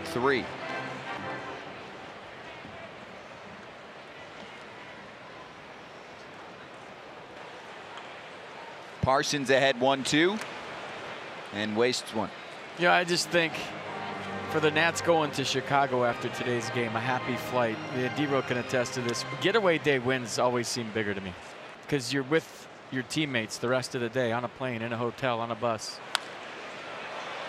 And sometimes the momentum you get on a getaway day win can translate to the next. A absolutely, the whole, the whole dynamic of the plane is different. The bus ride to the airport's completely different. You see the uh, the coaches, the manager, they got smiles on their face. Everybody's grabbing a grabbing a drink, a glass of wine, and you can relax a little bit and unwind. They lose this ball game, you start panicking. You're hearing the national media. You know how many games you're out, and it makes for a for a lengthy and quiet flight. Two strikeouts for Parsons. He gets Gio Gonzalez. A little bit of control problems at the moment. Pat Blakely pointing that out. No control on the mound. Well, Michael Taylor's just got a short stroke, huh? Quick through the zone, just a hanging either cutter or slider, middle of the plate. And he didn't miss it. That was a big, that was a long one. Home run number six on the season for Michael A. Taylor. Which team concerns you more in the National League East race? This is in the Braves fan group right now. If you join that fan page on Facebook. And Braves fans are much more frightened by a young Philadelphia Phillies team. And I say young besides their top two starting Yeah. pitchers. Aaron Nola's been in the league for several seasons. And Jake Arrieta is playoff race tested. He is October tested. So he is not going to back down or wear out. Do you agree, both of you? I would I, I, I would agree with that just because of the six game advantage and the fact that the Nats and, and the Phillies are going to play each other nine more times and kind of beat up beat up on each other. The reason listen if the Atlanta Braves, they certainly have the roster and capability of going on a run and winning a World Series. They do. They do have that. But what I love about them is they could have done monumental things at the deadline. They could have given up monumental prospects. They got one of the best farm systems in all of baseball, if not the best. If they wanted an Archer, if they wanted a DeGrom, if they wanted to go after whoever to come in and really cement this race in the NL East, I think they could have done it.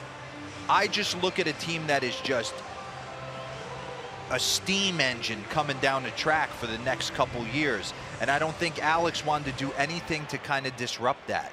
So what do you do? You you you take an upside play in Kevin Gausman, and hopefully the 97 and with Chuck Hernandez and some of the analytics, he turns into a beast to go with Julio Teheran and Foltynewicz and Sean Newcomb and maybe a Kyle Wright, a Touki Toussaint, some of the other minor leaguers coming up through the zone. So I think they saved their future and also gave themselves an honest chance to win the NL East. So it's that's why I say they're playing with house money when I look at when I look at the Atlanta Braves this year. And you kind of have to agree with the Braves chat room right now. The Braves are nine and six against the Nats this year. They've they've played well against them, and the numbers are the numbers. My only contention would be that how do the young players in Philadelphia handle a pennant race when things start to get hot in September? Yeah. How do the younger players for the Braves handle that? The Nats have been there and done it, and I How think does Gabe Kapler handle that? that's a great point. But you have a team that's won four of the last six divisions that maybe will handle a pennant race in September better than the other two teams. That said, the numbers are the numbers, and those are hard to argue with right now. That's fouled off by Dansby Swanson. Thinking back to the Nationals, though, this this entire season, they haven't had that like galvanizing moment, that like walk off homer that everyone's going. I, at least I haven't seen it. I feel like I have. Where? In multiple cases. I I marked down Bryce hit each team. 215 for like four months. It's tough when your star is not. Well, let me give you two examples because one of the things I like to do is mark down a signature win for each team throughout the season. I have two written down for the Nationals. One of them was asked after a players only meeting where Max Scherzer addressed the team. They fell 9 0 to the Marlins early on, came back and won that game Okay. with Jeremy Hellickson on the mound. You're playing the Marlins. Also, they beat up the With Mets with 23 respect. runs. Yes, those are two of the bottom level teams in the National League East. But FP, not- were those not signature Ws? You did not say that with all due respect. You're not trying to backpedal from that. I'm just saying that uh, for me, if, if if beating the Marlins is my galvanizing moment, and Bryce Harper hit uh, home run derby, win the home run derby with a headband on, is your galvanizing moment, then you haven't had one yet. Well, it, it's but Scott saying that. I didn't jump on that bandwagon that day because I wanted to see what happened after. D- do you take that and run off five in a row? Yeah. Do you use that momentum and go? And it didn't happen. That's right. So then it isn't a galvanizing moment. and It isn't a turning point in the season. Was it in a vacuum an incredible victory when you're down nine to nothing? You come back and all of a sudden you win it. What was it, 14 to 10? Yeah. Yeah, that was a tremendous game in a vacuum. But did it kickstart them? Everybody wanted to say at the moment that this is the turning point. You had to Exactly. see, and it didn't. On the field, it's like the Bryce Harper home run experience was awesome. I was standing up on my couch cheering when he was hitting those bombs. The Mike Rizzo, Kinsler to the Cubs, Shawn Kelley, DFA'd. Those are moments like where I tip my hat, but on the field, like when they're jumping around, going, I, I- I could think back to, to multiple times throughout the course of the 2012 season where it was just, man, it's just going our way. You could sense that. That was Yeah, so organic. you could Still, sense it. Still my favorite season here. Gio Gonzalez in a groove right now. He strikes out Parsons after the flyout from Swanson, and he's retired five in a row. He's playing without his teammate Bryce Harper today. Look where that pitch started, and look where it ended up. And he hit his spot the whole inning. I don't know how that was taken in the clubhouses, but as a former player, I thought that was curious. Whenever a guy hits a home run and gets drilled with the very next pitch, his next at bat, you're just wondering. It makes you wonder. I don't know. Freddie and Bryce were having a, a party at first after that. so I, I don't know. Pitch number 70 from Gio Gonzalez. It's a breaking ball. It misses to Ronald Acuna Jr., who is 0 for 2 today. So let's ask that in the comments section. What do you think of yesterday's hit by pitch? Was there any intent from Winkler to Bryce Harper? Comment below. Stirring the pot. Why not?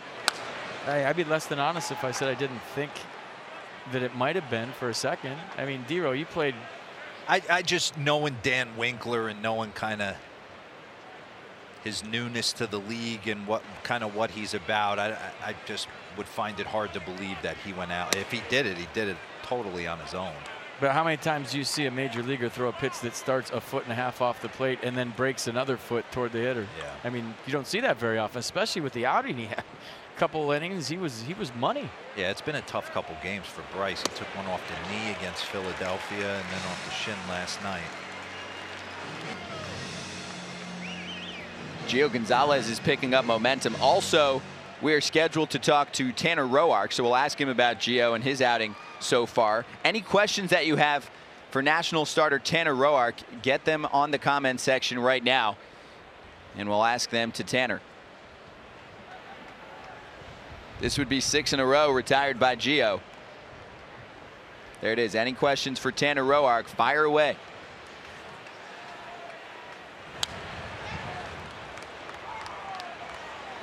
I'd like to ask him about the facial hair situation he had for a bit. What was that? Or he had the sideburns going on, right?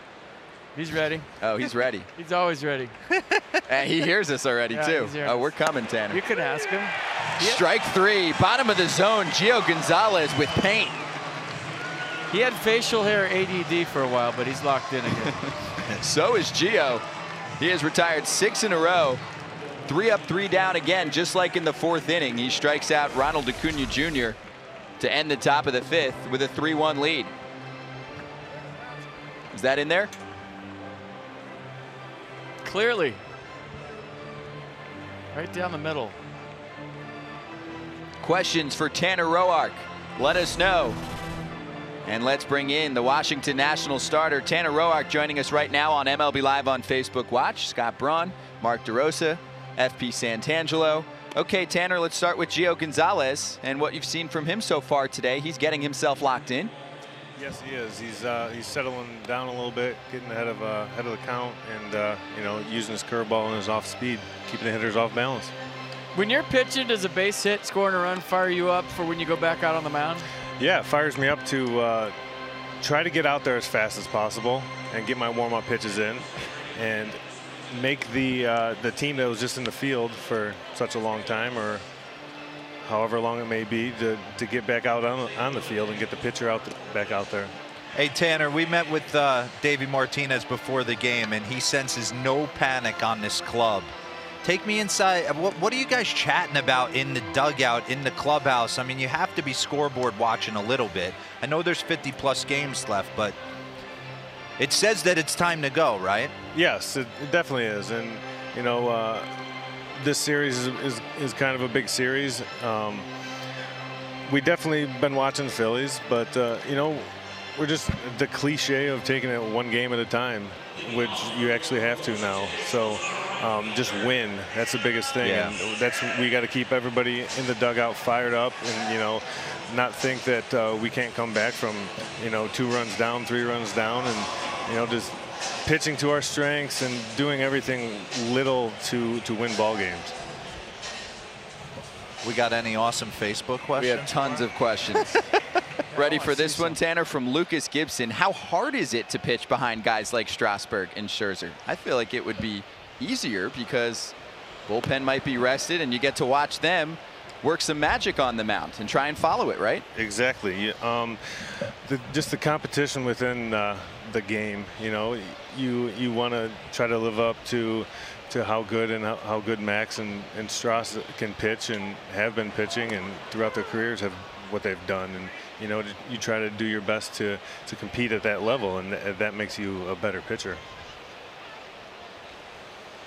This is Adam Eaton. Tanner, tell the fans out there, people listening at home, what it means on a getaway day to grab a W, how it changes the entire complexion of the bus ride to the airport, the entire flight.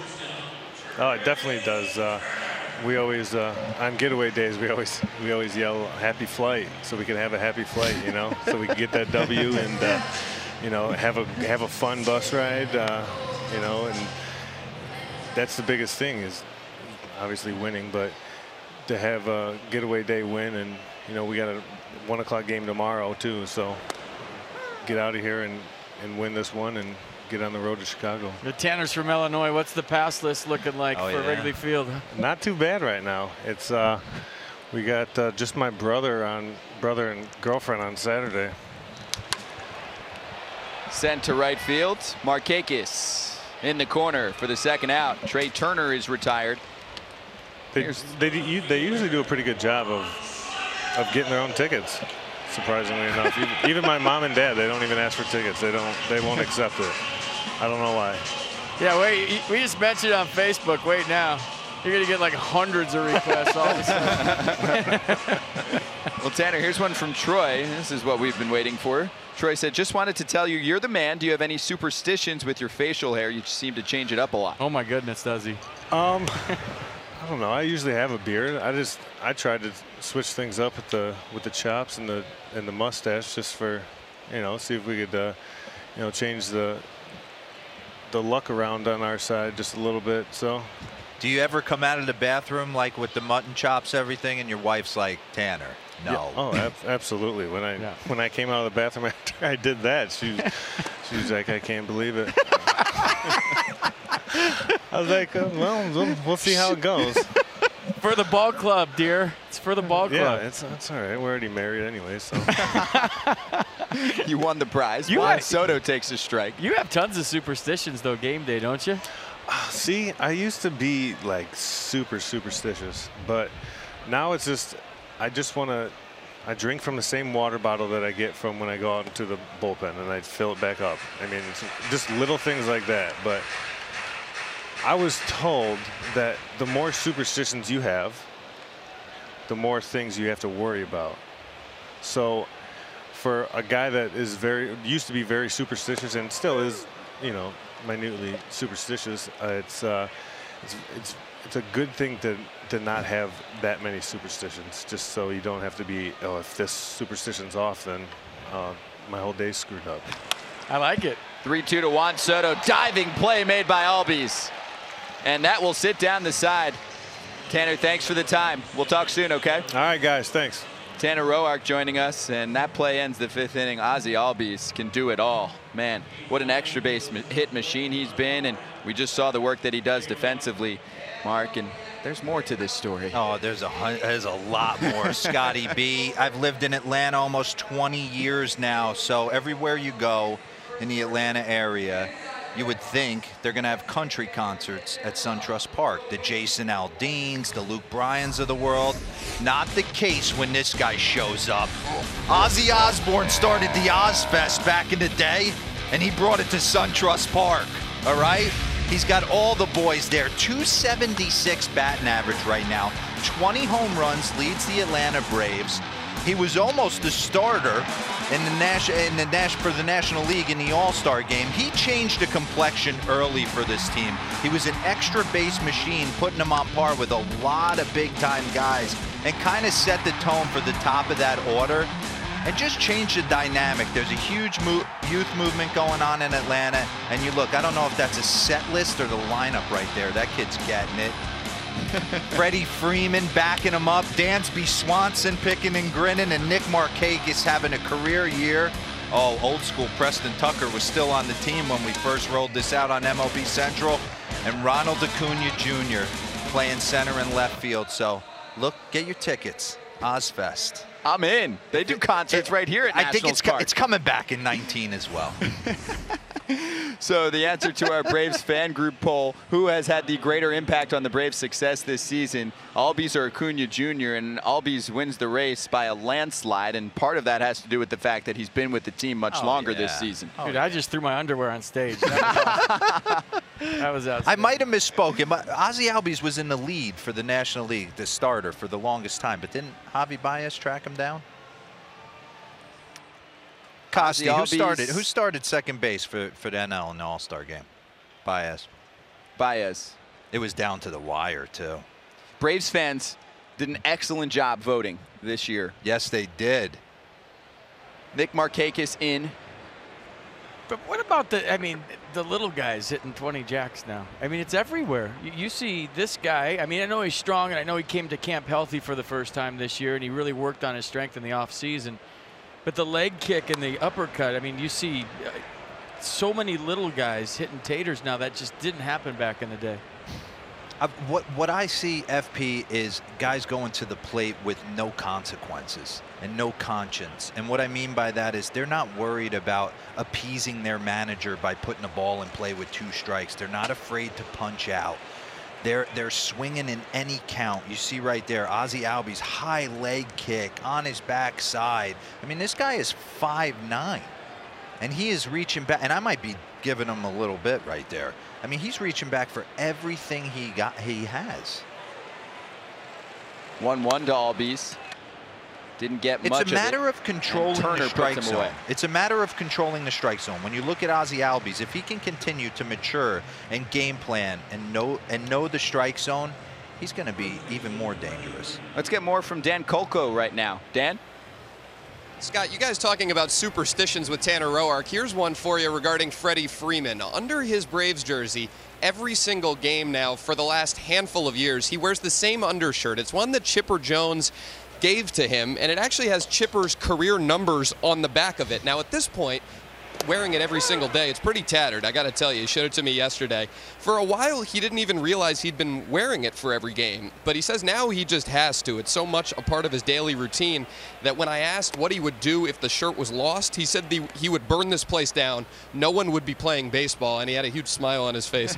he said there is a backup T-shirt for whatever that's worth when the current one bites the dust eventually. But he feels pretty confident that one's sticking around for a little while longer. And he handles that breaking pitch into right field. It's a one out base hit. Chipper Jones still has strong connections to this Oh. Atlanta Braves franchise. Him and, him and Freddie are super tight. This is what makes Freddie such a pain on left-handed. Oh, check that out right there. That's at the Hall of Fame. I had You a were there. chance. Yeah, I had a chance to go up there and sit on the desk for MLB Network, and Chipper nailed his speech. I knew he would. Great feel, but him and him and Freddie are super tight friends. All right, so let's get your favorite moment in the career of Chipper Jones in the comments section. And Mark, what's your favorite?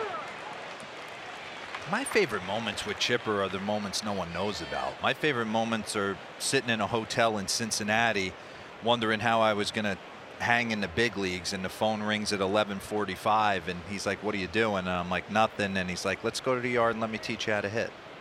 Let me teach you how to game plan. Let me teach you how to how, how to form a routine."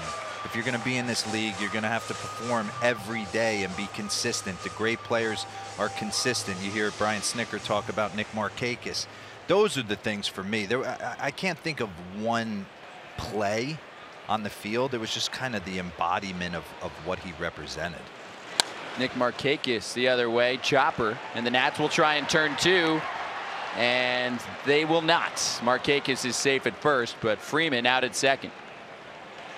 So two down in the top of the sixth. And Dan, what's Freddie Freeman's takeaway from Chipper Jones being inducted into the Hall of Fame?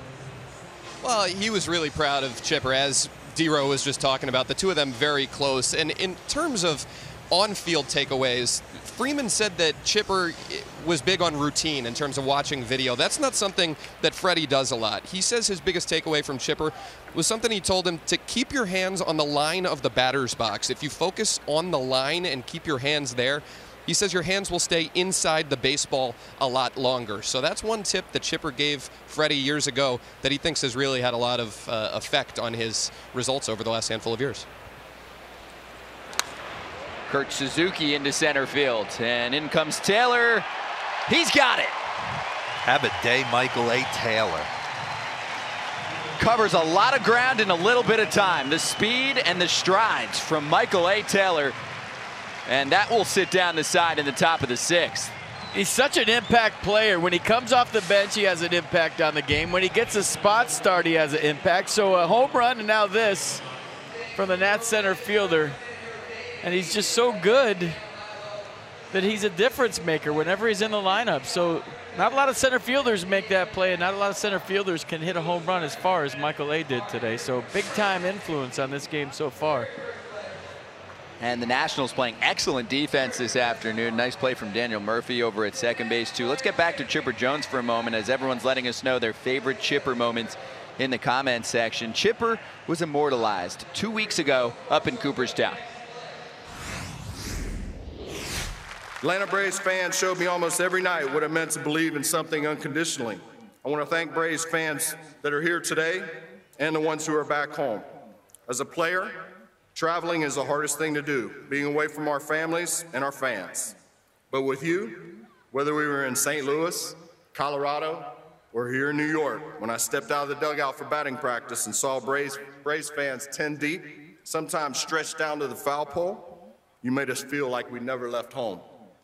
You are the fans I imagined in my head playing in the backyard all those years ago. You're why I love coming to the plate with the game on the line. Crazy Train blaring in the background. And why I wanted so badly to come through for you. You have believed in me since I was an 18 year old kid, and you were still there for me during my swan song in 2012. You cheered me on through the career highs, you stuck by me through life's lows.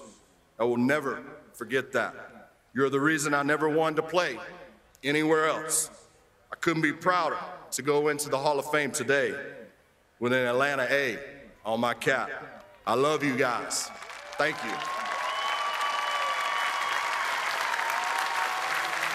That's a 10 out of 10. He nailed that speech. He absolutely, and I wasn't shocked. He he could command a room. When he walks in, he's got a presence about him.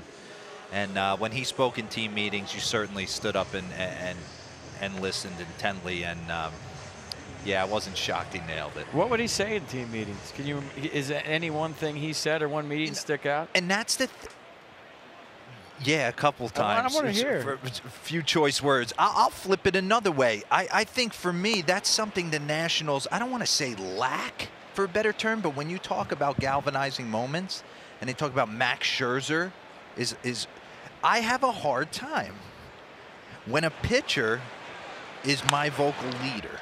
Anthony Rendon up the middle. It's a base hit to start off the bottom of the sixth for the Nationals. Even if it's not just a pitcher. I love it. I love it. I don't get me wrong. Max Scherzer can say whatever he wants, whenever he wants, but he's only out there once a week.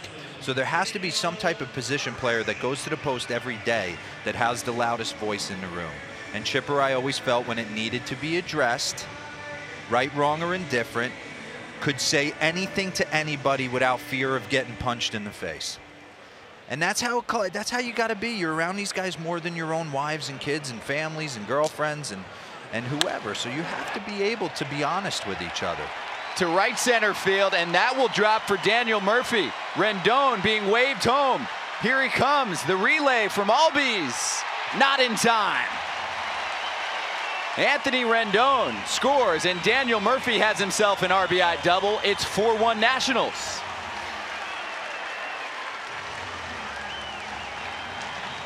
Yeah, you're seeing Murph start to lock in, and he, the the more healthy he gets, the lower he gets in his stance on his legs. Look where he's sitting right here, and that just runs back right down the middle.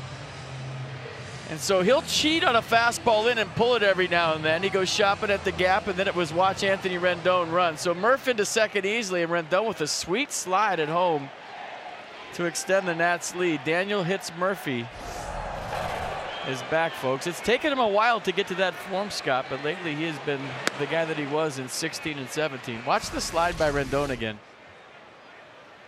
You give him a lane out there, then he reaches back with the left hand, a smile on his face as he crosses the plate. He has fun playing baseball, and so does Murph.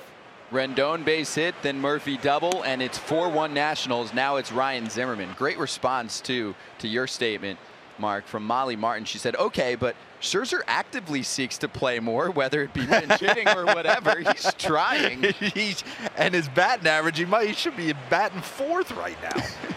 99 times out of 100, D-Row, I agree with you right there.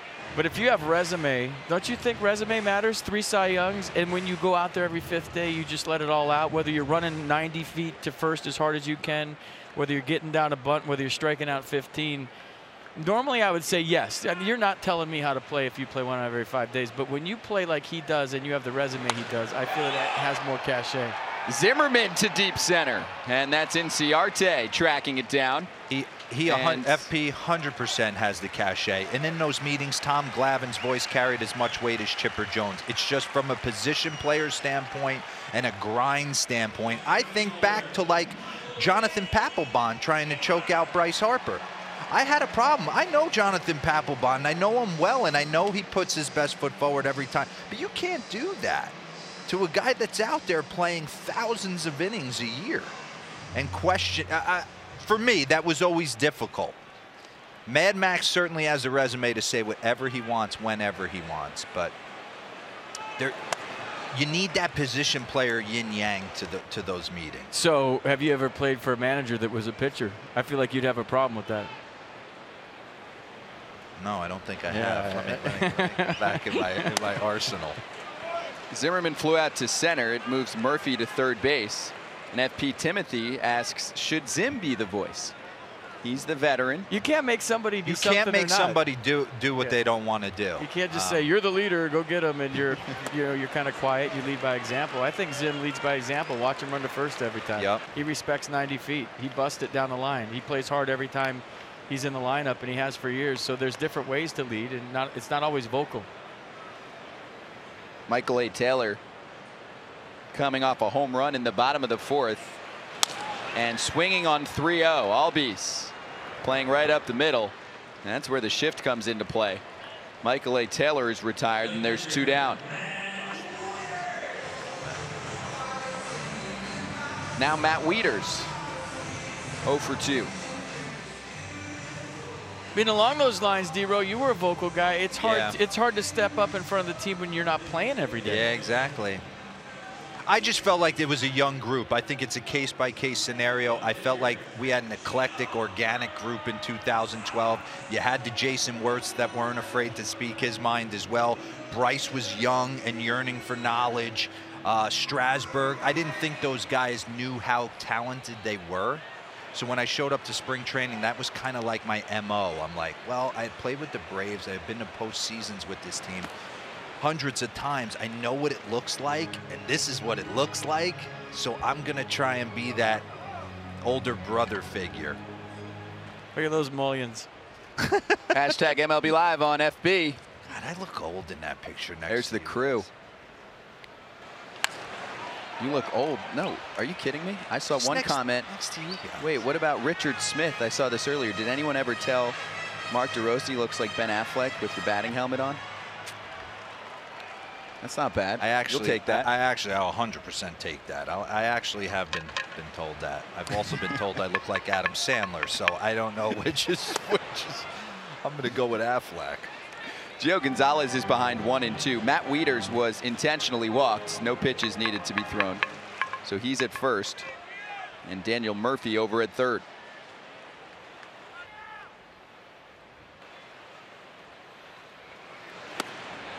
And Parsons gets Gio Gonzalez for the strikeout. So the RBI double from Daniel Murphy extends the Nationals advantage to 4-1. Earlier today, we had the President's Race, a fixture here at Nationals Park. D-Row, when you were here, all the rage was let Teddy win. Yeah. Didn't he win finally when you were here? with the Hawaiian t-shirts. Did he go the distance? Who won? Adams?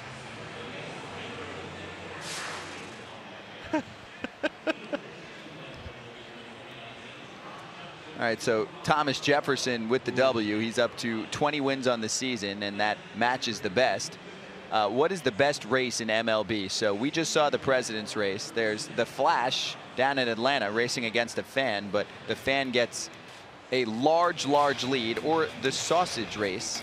Uh, and this is the freeze, by the way, not the Flash. He runs like the Flash, but oh, the freeze with ease beats most The fans. Freeze has been beat, and he's been beat multiple times. Yeah, but his winning percentage is what? Blooms off the 98%? rose. Did he goose him on the way by? Is that legal? So is this the best, Mark? The I like- sausage race? I like the I like the president's race.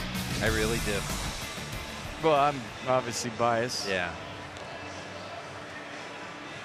Who clubbed one of the sausages that one time? Remember that? Randall Randall? Simon. Yeah. Randall Simon. Yeah. I think they pressed charges on him. Yeah, I'm that was mistaken. funny. But I thought it was. Well, that was a real bat. I was like, if it's, you know, A an football bat? inflatable or something, it's whatever. But that was no joke from Randall Simon back in the day. But anyway, let us know the sausage race or the freeze down in Atlanta or I think I just the wanna- president's race. I just want to make this quick point right here. I see a lot of comments coming in about why Wes Parsons was still in the game after Anibal Sanchez. We're starting to see a lefty warm up mid-inning right here. They're, they they have an epic run right now. They don't have an off day until almost the 27th. They have a doubleheader coming up on Monday. They they need innings. They have a young bullpen, and with Anibal coming out, they they had to get some length out of Parsons. And it's not like it's a blowout. Exactly. No. Many Braves fans have said, stay tuned. Atlanta with many comebacks in them so far this year. There's Adam McCreery. And that would be the second major league debut of the day, too. Another new call up for Atlanta after the two moves were made a couple days ago. Meanwhile, Gio Gonzalez is 85 pitches into his outing, pitching now in the top of the seventh. This is a terrific sign for Nationals fans after Gio had struggled mightily over a long stretch. 11 starts where his ERA was in the high sixes. Overall on the season, it has now dropped below four. He had an all-star start to his season. And he's facing Charlie Culberson, Ender Inciarte, and Dansby Swanson here in the seventh. This is the stuff I love right here. All right, he's faced Charlie Culberson. He's one for two. He's faced him twice, and both times he's gotten a full counts and gone 3-2 changeup. So if you're Culberson, you have to be thinking a changeup's coming at some point in this at bat. You just sit on one, like right here, one, two. You can't do Ah, it. with two you can't strikes. do it with two Yeah. strikes, but I'm definitely leery of it.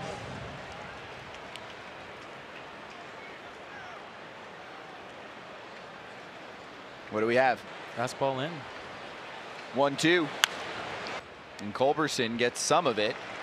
Zimmerman handles for the first out. My mom just checked in on Facebook. Heads up. Here come the comments. What did she say? Anything good?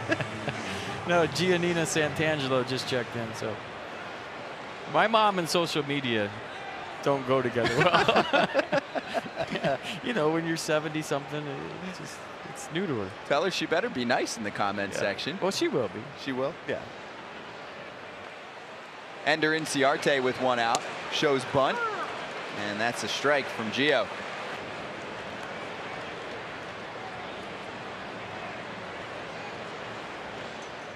Some Braves fans were not pleased with you calling out the freeze. Like Connor, he said he's been beaten because the opponent gets a huge head start.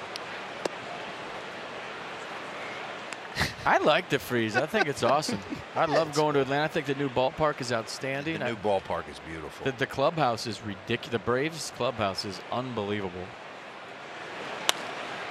And that's right to Murphy hanging around in the air for the second out. Now Dansby Swanson, who walked back in the second, flew out to right field in the fifth. I want to see Burns versus the freeze. That would be a good one. Eric Burns against Yeah, the freeze. see that. That's a good call. If he survives his Forrest Gump trip. Well, he's on a bike, not on foot. That gives me more hope.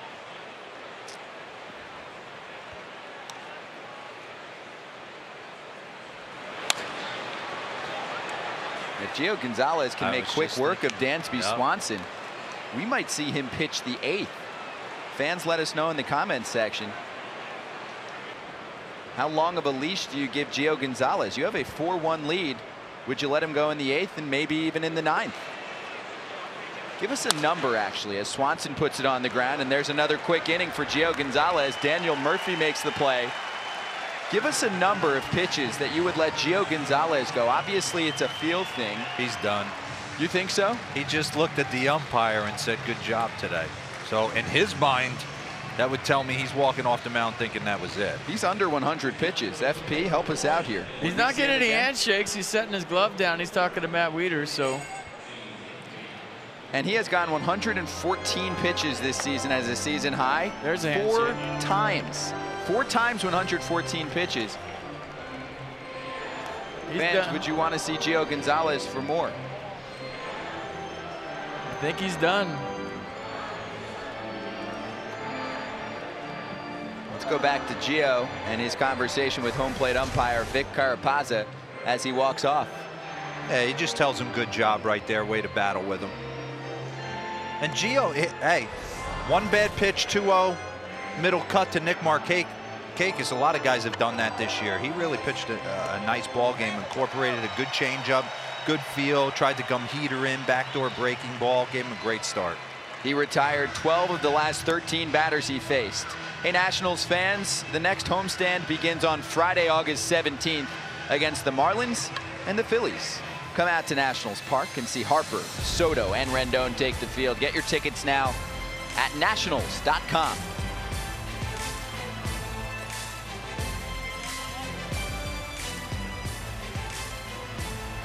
And the Braves return to Atlanta tomorrow to begin a 10-game homestand against the Brewers, the Marlins, and the Rockies.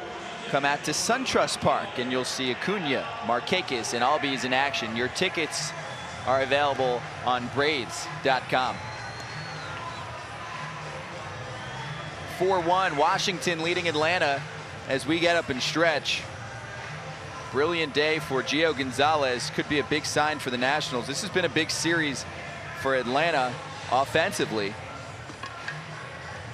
You look at the eight runs they put up yesterday, and they're being held to just one today thanks to that man. Seven innings. The strikeout numbers weren't high, but many ground ball outs for Gio Gonzalez this afternoon. And he is in line for a W if the bullpen can carry them the rest of the way. Top of the order for Washington. Eaton, Turner, and Soto here in the seventh.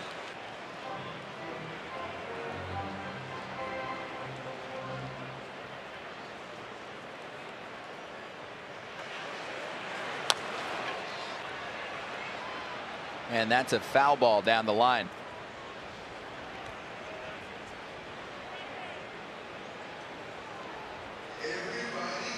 Jonathan said, Dero will love this. The Lakewood Blue Claws in the Phillies organization have eyeball races and pork roll, egg, and cheese races.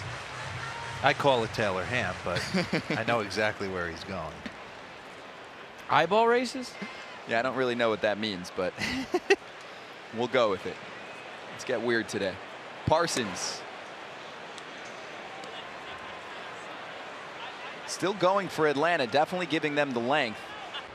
After Sanchez went down following two innings, Sam Dixon, I would have kept Gio in. Nats bullpen unpredictable lately. And FP, that's something that I was personally worried about. Kelvin Herrera hitting the shelf and Brandon Kintzler and Shawn Kelley were traded in the past week. So it's a younger, less experienced Nationals bullpen.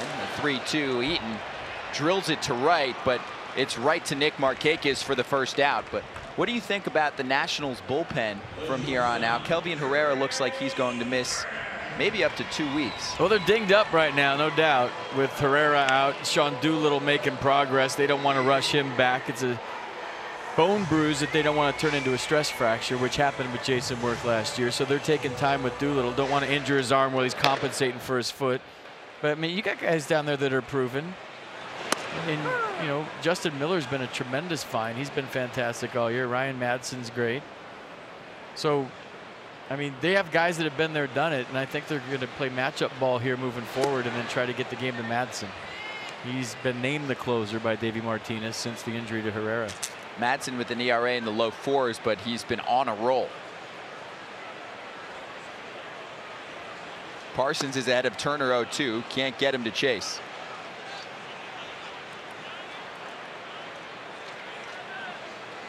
Trea Turner has reached base twice today out of his three plate appearances.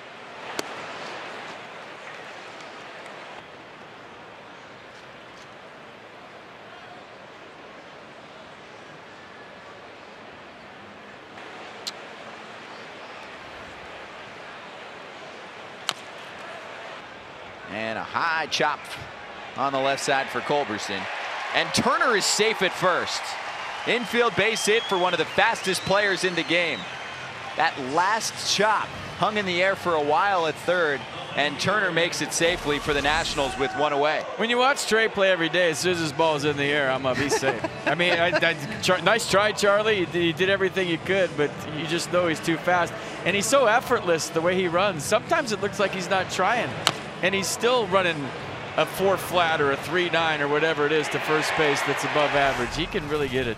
It does look effortless. Yeah. He could beat the freeze.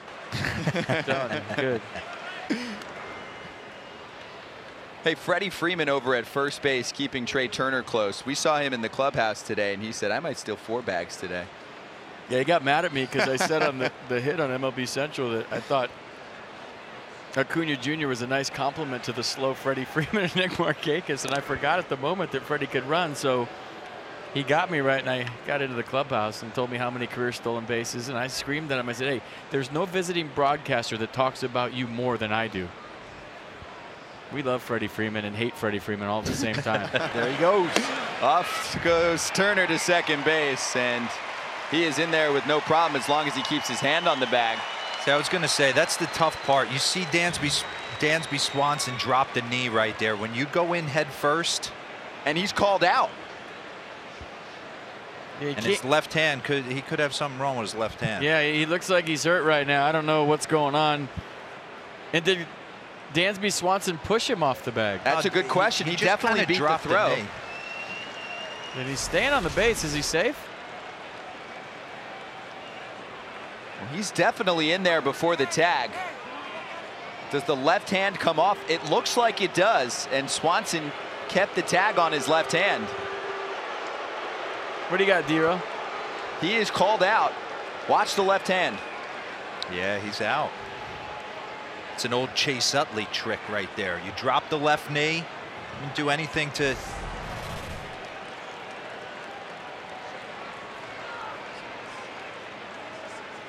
See his left index finger come up? Watch his index finger on the left hand. Watch it hit Culberson's knee. Just watch his finger right there kind of flip back. Yep. Barry Larkin used to do that. He'd drop a knee on you and you couldn't get to the bag and then finally I decided I'm going Go feet, feet first, first. and I'm going to leave a little mark on your knee. Yep. If you want to play that game, watch. Here's my cleats. So now bags empty for Juan Soto. And the 2-0 is delivered for a strike. It's two and one.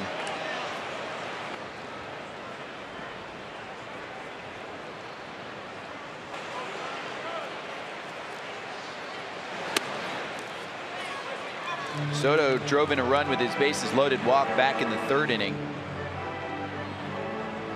The Nats put up two in the third, one in the fourth, and another run in the sixth, adding up to their 4-1 lead.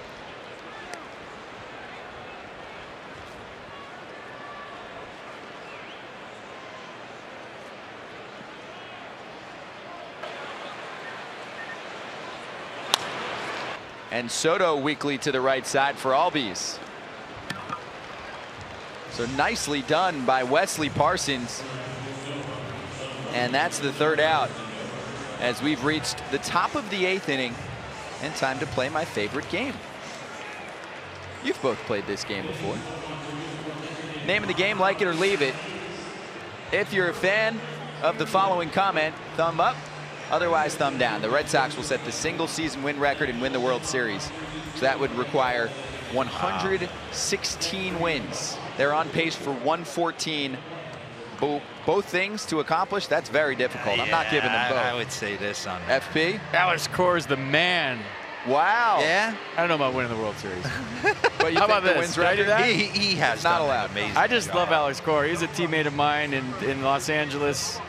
Um, he went to the University of Miami and he was a player here for the Nats my first year. I think he's doing a great job. It's it's hard to manage a really good team. You think anybody can drive a Cadillac? It's not the case. You got to manage personalities. Yeah. You have a high. You have the, the media in Boston that he's dealt with. I mean, I, I mean, he's the manager of the year for me. What's next? We have three more to get through before we get to the next half inning here. The most intriguing final season series will be Braves at Phillies. We have Cardinals Cubs. I'm going to go Braves at Phillies. Yeah, I'm going to stay up on that as well. Yankees Red Sox won't be as relevant now. No. Everybody, Sure. know, everybody knows I'm a homer. I think the Rockies Nats series at the end. Ooh, that's a good one. You're right, FP. in Colorado. And you're playing in that ballpark, playing 15 to 14 games to get into the playoffs. That'll be intriguing and exciting. What else do we have? This one for the Atlanta Braves. That just straight up, will they reach the postseason? Oh. Here we go. Can I go like this? Because I don't know. I'm gonna, I'm gonna duck. You guys go ahead. I'm going down. Ah. That was Where are they in the wild card? One back? No, they, they're one, one back of, of the first wild card, but they're in the second wild card right now. Let's go up then. Go up, be positive. All right, last one. Bryce Harper will get the largest contract among 2018 free agents. Really, do you feel confident about that one? Trending up. Not D-Row going Machado? two thumbs up. Yeah, I think for me, he's the guy. Over Manny Machado. The only reason I say that is because Manny Machado has dealt with some knee injuries throughout the course of his career. That if was a you're go- million years ago. Uh, was it? Yes. I blew my knee out. I think about it every day. Okay. All right. We're looking at free agents. I'm I think you. Machado and Harper lead the pack in terms of biggest contracts that they could command in the offseason. Come on, Bryce is 26. He's won a unanimous MVP. He's trending upward. I know he's polarizing, and people love to hate on the guys who are polarizing. But when he's right, he puts he puts a franchise on his back. Puts butts in the seats, too. Yeah. Justin Miller on the mound for the Nationals. He replaces Gio Gonzalez. 31-year-old in his fourth season in the majors. And he's facing pinch hitter Ryan O'Flaherty. Or just Flaherty. I'm thinking of the old reliever for the Atlanta Braves. Did you play with him? Eric O'Flaherty. Eric No, I O'Flaherty? didn't. No? I didn't. Ryan, 32-year-old super utility player for Atlanta. His playing time has dropped off. Had a hot, hot start to the season. Batting in the nine spot. And that is a fair ball for Zimmerman. One down. And now Ronald Acuna Jr.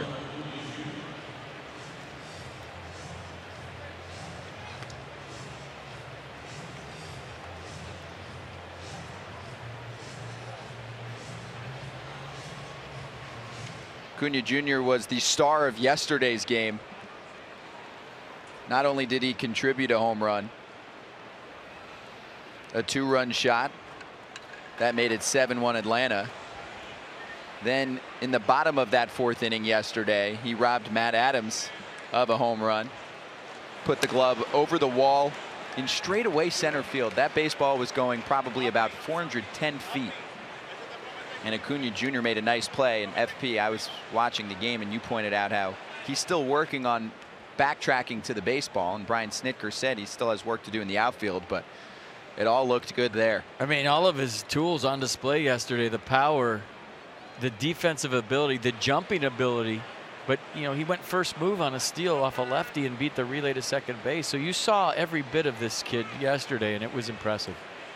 Oh, in the air to deep left. And that ball is gone. Ronald Acuna Jr. with a home run on back to back days. And he cuts into the deficit. It's 4 2. I want people to watch when we bring this back on replay how easy he makes the game look. How nothing, it doesn't, he's not making it look difficult. This is this is a left-handed, sweet swinging guy from the right side at 20 years old. Minimal hand movement. It's simplistic for him to get through the zone with such whip. I'm telling you, he reminds me of Javi Baez. The way he approaches an at bat, he's dangerous. He gets that leg kick up early and slow, gets away from the baseball, and just generates tons of pop. Wow. Albies in the air, and Soto has it. So two down, and here comes Freddie Freeman. Ronald Acuna Jr. is 20 years 20. old. Juan Soto's 19. So much earlier, a fan in the comments section said, who would you rather have for the rest of their playing career? Both. Man. No, you can't do yeah, that. I want them both. I know you'll answer. Soto. Yeah, I'm going to be Jr.? the homer. I'm going to go with Acuna Jr. I know FP and Juan Soto is probably the safer play, just watching the way he goes about his at bats. And that's to deep center field. Taylor oh. can't run it down. Off his glove and off the wall.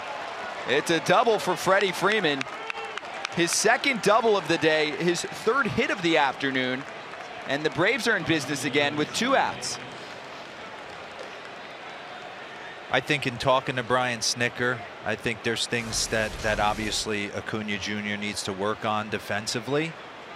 But I see a premier defender in the middle of the diamond, a guy who can steal bags, and a guy who's going to hit me 30 plus home runs. And just looks like he makes. I, I gravitate to guys who make the game look simplistic. You watch Javi Baez with the Chicago Cubs. They just do things that can't be taught. How about this? I'll take Freddie Freeman. there you go. I'm serious. He wasn't an option. This guy needs way more play than he gets. He's one of the best players I've seen in a long time. See if he starts to rally for Atlanta. Patty said, time for the Braves to rally. Let's go Braves. Nick Markakis up next. He homered back in the second inning. Atlanta getting a run off Justin Miller thanks to Ronald Acuna Jr.'s 14th home run of the season, or make that his 13th home run of the season, into the left field seats. His second home run in as many days. And something has clicked for Ronald Acuna Jr.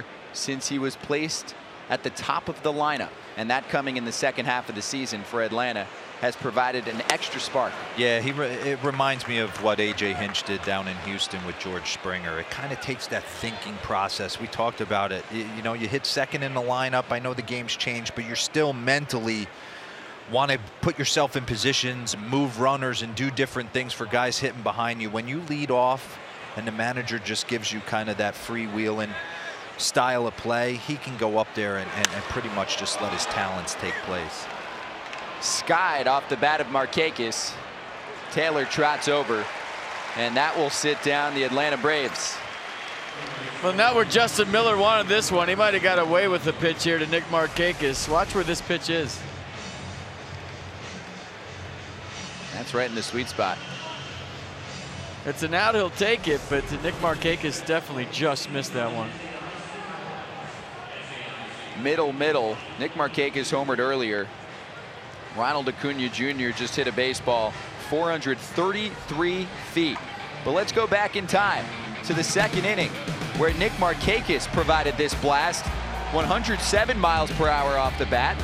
Hardest hit home run of the season for Nick. And 10 of his 14 home runs have been on the road. This is Anthony Rendon. And that is Acuna Jr. making the catch, but it's enough for Adam Eaton to come home. And the Washington Nationals had a 2-1 lead. Then in the fourth inning, it's Michael A. Taylor. A majestic blast off the bat to give the Nationals the 3-1 lead.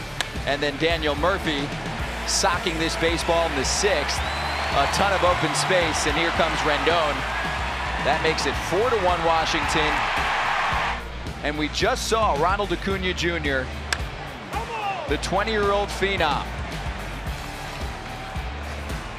13 home runs on the season. Cool, calm, literally cool, right in front of the fan. And he knows the Braves aren't out of it. 4-2 is your score as We've reached the bottom of the eighth inning. MLB Live on Facebook Watch continues here in our nation's capital.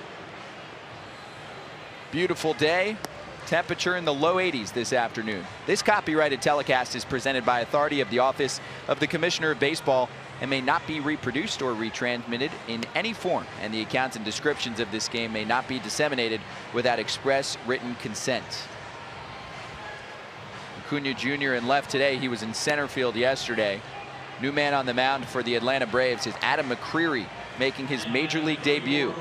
25 years old, six foot nine, 250 pounds. Excuse me?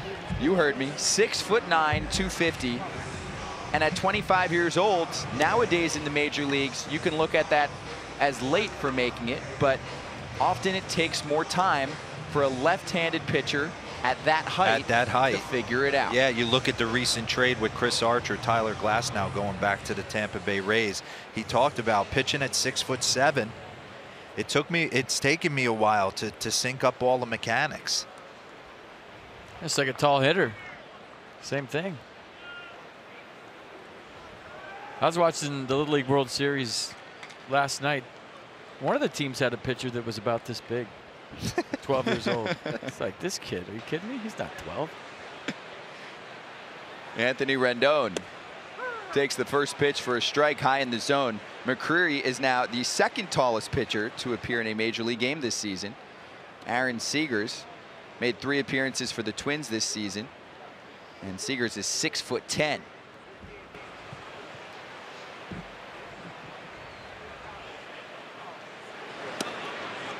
There's the breaking pitch.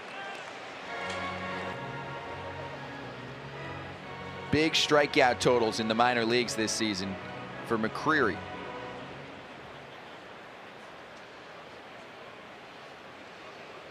Born in Laverne, California, attended Azusa Pacific University.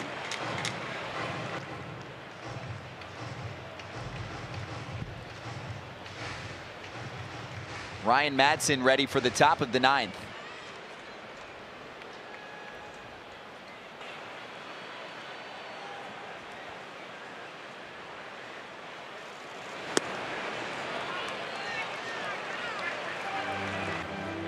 I always thought it was hitting harder hitting against tall guys because A, they're closer to you, and B, the, the downhill angle. on their fastball is harder to square up, I always felt like.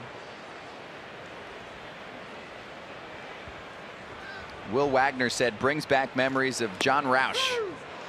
yeah, good point. He was an intimidating figure on the mound. Big boy.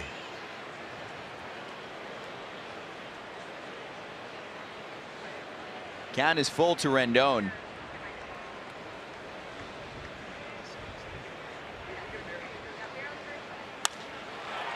And up the middle for a base hit. Second of the day for Rendon. Such a good player, such an underrated player. I- quick as bad as anybody in baseball. His hands are right down in the strike zone. And watch how quick from A to B. I mean, he lets the ball travel deeper than most, and that's why he's always making good decisions at the plate. But watch the side swing. Foot down early, just a little rotation with the hands back, and then boom, like a snake. So here's Daniel Murphy. His double back in the sixth brought home Rendon and gave the Nats their fourth run of the game. I watch Anthony Rendon hit every day, and it makes me wish I would have lowered my hands and just tried it and had him down here, just nice and relaxed, closer to the baseball. I oh I I loaded down. My hands didn't load back. They loaded down. So my, my big thing was that's okay if they load down. They got to get back up for me to get my hack off. But I know I know what you're saying. A lot of guys are Justin Turners of the world. They're starting their hands low. Anthony Rendon, and they're keeping them there. Yeah. And just putting the bat on plane.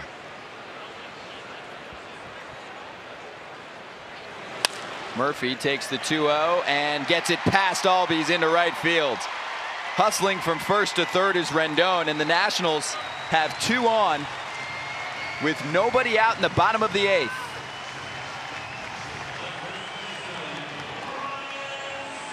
Any luck, Murph could have had four hits today. Hard hit ball his first time up, lined out to left his second, then a single and a single. So a two for four for Murph, and Wilmer Difo going to pinch run, shore up the defense a little bit with a late inning lead, but another simplistic approach to hitting.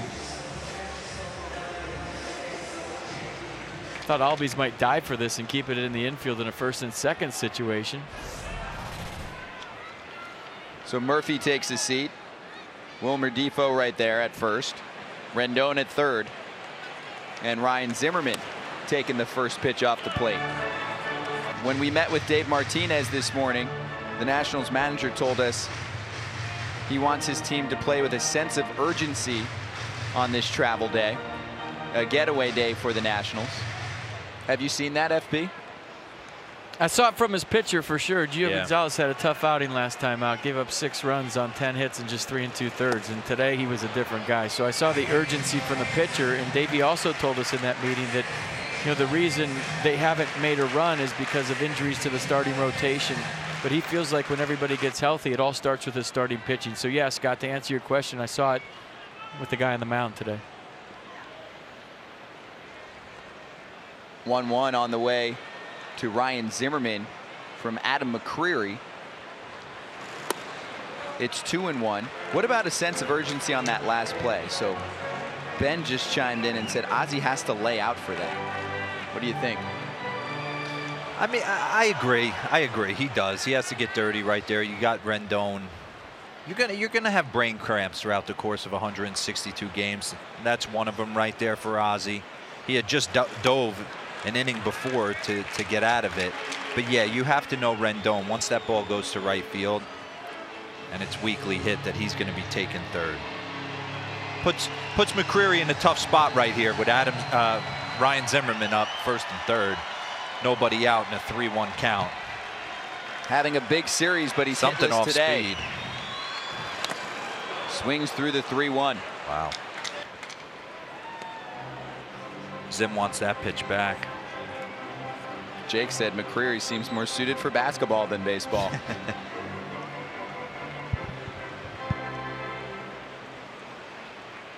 Tim asking why the Braves pulled their starting pitcher after two. He must have looked at the box score. No, there was an injury. Anibal Sanchez takes a comebacker and leaves the game. And two MLB debuts since then, and Ryan Zimmerman brings in the fifth run for the Nationals. RBI hit. It's 5-2 Washington.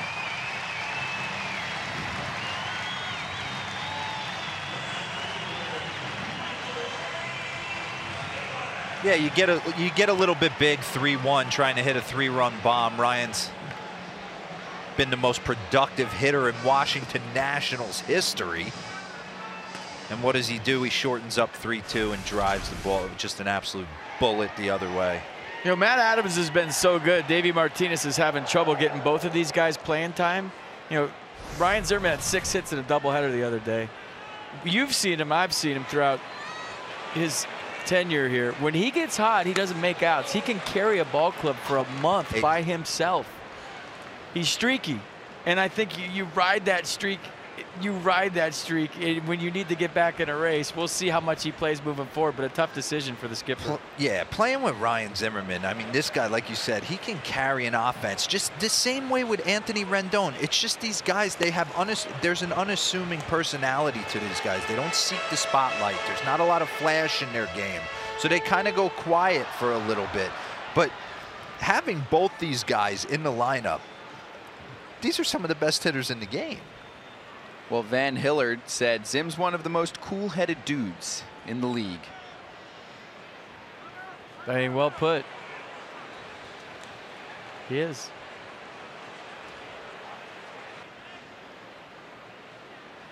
Ryan Zimmerman was the player of the month last year in the month of April. And the Nats were the best team in baseball at that point. They cruised through the National League East. But here come a young Atlanta Braves squad and a young, hungry Philadelphia Phillies organization in the top two spots for now. The Nationals six games back of the Phillies, five and a half behind Atlanta. They can pick up a game here against the Braves if Ryan Zimmerman can shut the door in the top of the ninth. Washington at 58 and 56. And Michael A. Taylor fouls that one off. I want to make this comment, though. You're watching a team, you're seeing Wes Parsons, you're seeing McCreery in these spots. He, he wouldn't be facing Ryan Zimmerman with a week left in the season. We would have multiple bullpen options, probably going double barrel. I think Brian Snitker is just trying to find a way to get length with Anibal coming out. If he can get back in this game and they can make some pitches, maybe we steal one, but I don't think he wants to burn his A-list guys out of the pen when they got all these games without any off days and a double header mixed in there. So you, you kind of got to kind of got to ask McCreery to pitch in some tough spots to some tough matchups. And he gets a strikeout looking. Vic Carapazza behind home plate with the call. Michael A. Taylor the first out in the bottom of the eighth. And they got the Brewers tomorrow. So, you know, maybe, you know, you're thinking about that. And I remember when Davey Johnson was here, he told me the hardest thing he had to learn as a manager was how to lose a game. Yeah. Meaning that you're going to sacrifice one to win another. Not that you're sacrificing this one by any means, just down by three runs. But when your starter goes out early with an injury, maybe your thought process is, well, maybe the offense can pick us up today, even if I throw some kids into the game. Matt Wieters goes after the first pitch and fouls it away. Nothing in one. Only three games remain between the Braves and the Nationals after today. That comes in the middle of September. So you need to play catch up, and the Nationals will be able to do that against Philadelphia. Nine more against the Phillies, but just three more against Atlanta on the calendar. I never looked at the schedule as a player, and I wonder how many Nats know they have nine games left against the Phillies. You get so day to day in your bubble as a player, you're so concerned with one at bat, one pitch, one game. You know, you're just trying to play good baseball and win today's game, I feel like. Yeah, I, I always felt like I was, I never went further than a week. I really did. I wanted to know who the pitching matchups were coming up when we were going into Pittsburgh or Cincinnati or whoever. But I wasn't, yeah, I was never really concerned with uh, the whole landscape of, of how it played out. There were times, and this is a true story, where I would be on the charter asking players where we were going. No. 100%. I was so day to day. pack accordingly. Pitch by pitch, and we'd be getting on the charter, and I had no idea where the second or third leg was of a road trip. I just knew there was a baseball game at 7.05.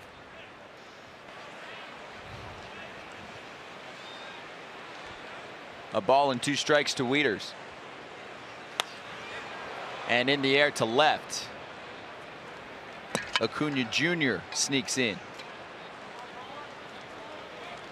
And two down.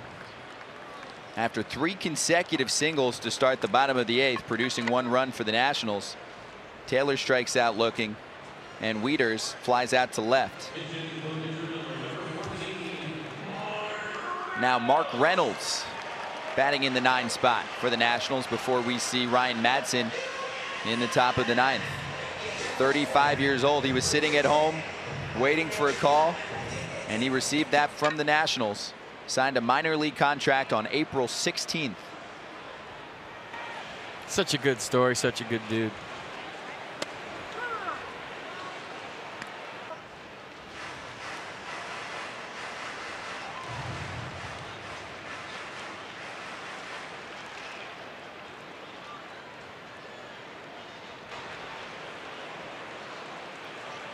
11 home runs in 53 games played for Mark Reynolds. He's actually done how most is of he, his how damage. is he sitting home? I'd love to. I'd love to pick his brain and see Great what, question. if if he had other offers. He did. He had minor league offers, and he thought, well, with what I did in Colorado last year, I don't come deserve a minor league invite. So he's like, forget that, forget that, forget that. And then he saw Nolan Arenado charge the mound, and it fired him up. And he will drop that into left field. That's a base hit for Mark Reynolds, and that will score Wilmer Difo 6-2 Washington.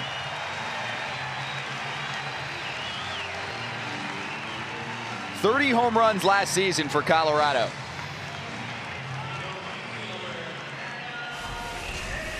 And then Mike Rizzo called him and said, hey, we need you. We'd be willing to sign, go to the minor leagues, get ready a little bit, and we'll call you up. So he said, yeah. Arenado charging the mound. Remember the Rockies got in that brawl? Fired him up, yeah. and he's like, I miss it. Let's go. Let's do this.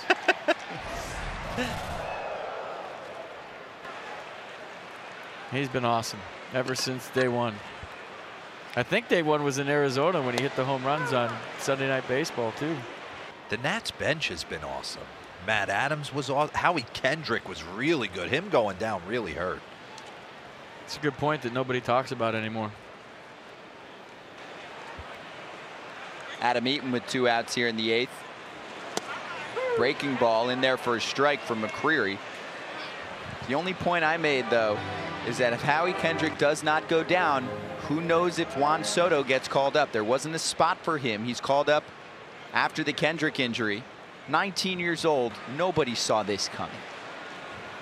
Comment below if you thought Juan Soto was going to lead the league maybe in OPS this year. Strike three, Adam Eaton All I know down. is Victor Robles better be unbelievable because he's a, rated ahead of Soto on the prospect list. Yeah, he's got big, big shoes to fill in the outfield for the Nationals. They have some young talent. They also pull off two more runs and lead it 6-2 over the Braves.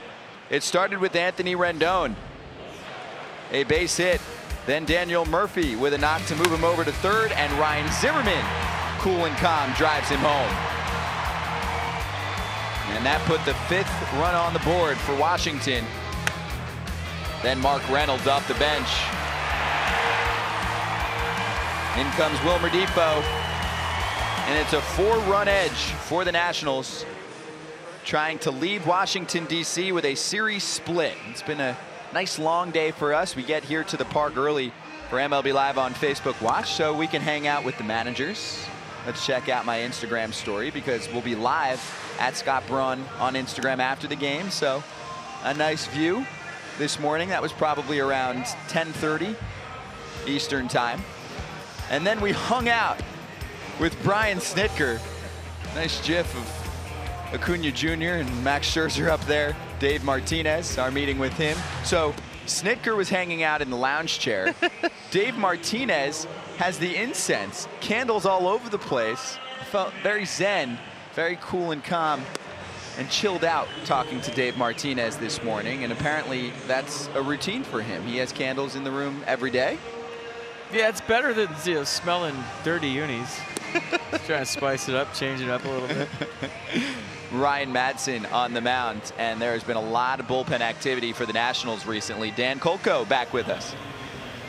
Yes, got a lot of bullpen moves for this Nationals club. They're essentially on their fourth string closer right now. Sean Doolittle and Kelvin Herrera both on the disabled list. Brandon Kintzler traded to the Cubs, and so Ryan Madson now finds himself not a save situation with a four-run lead, but on the mound to close out a big game in the ninth inning. Madson has worked the ninth inning a bunch in his career, notched 30 saves with Oakland back in 2016. Has indicated in the past he might be more comfortable in a setup role, but now with Doolittle down, with Herrera down, you know, we showed Greg Holland there, recently signed, but kind of working back into form. A lot more falls on the shoulders and right arm of Ryan Madson on to close this one out. And the first pitch misses. It's Kurt Suzuki, Charlie Culberson, and Ender Inciarte due up for Atlanta here in the top of the ninth. The Nationals three outs away from securing their 59th win of the season. A win would move them five bet games back of Atlanta, the Braves sitting in second place in the National League East. It would be five and a half back of Philadelphia. And one huge difference is the division work so far this year. The Nationals are 24 and 24 against NL East foes. The Braves are 36 and 18 against NL East Excuse me? opponents. That's real. I always go back to, to what Bobby Cox used to give us like 40 games to get loose. And we'd kind of be toiling around that 500, and he'd come in and say, "Guys, we're supposed to pound, pound the teams you're supposed to pound on, and then play 500 against the good teams that are going to postseason. We'll win this division." That could hold true if the Braves. You got to you got to feast on the Marlins right now. You got to feast on a, on a on a Mets team that has struggled. With a, I mean, as long as Jacob deGrom's not on the mound. That's right. Kurt Suzuki drills a 2-1 pitch up the middle, so the Atlanta Braves do set the table to start the ninth. And here comes Charlie Culberson.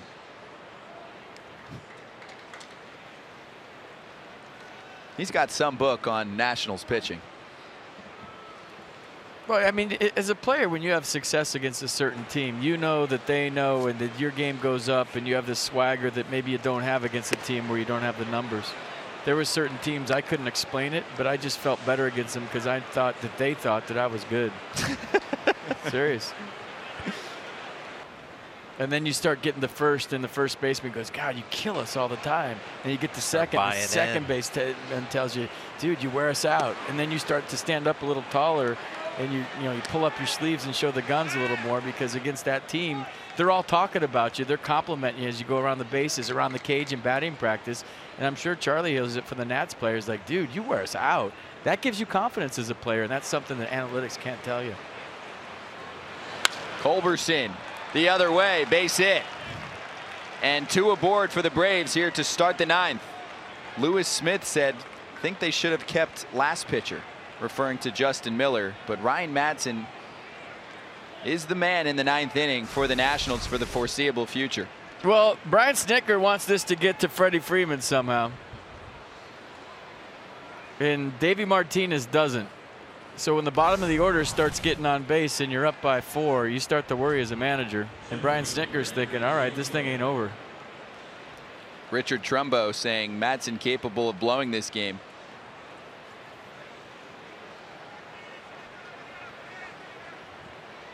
Ender Inciarte up next.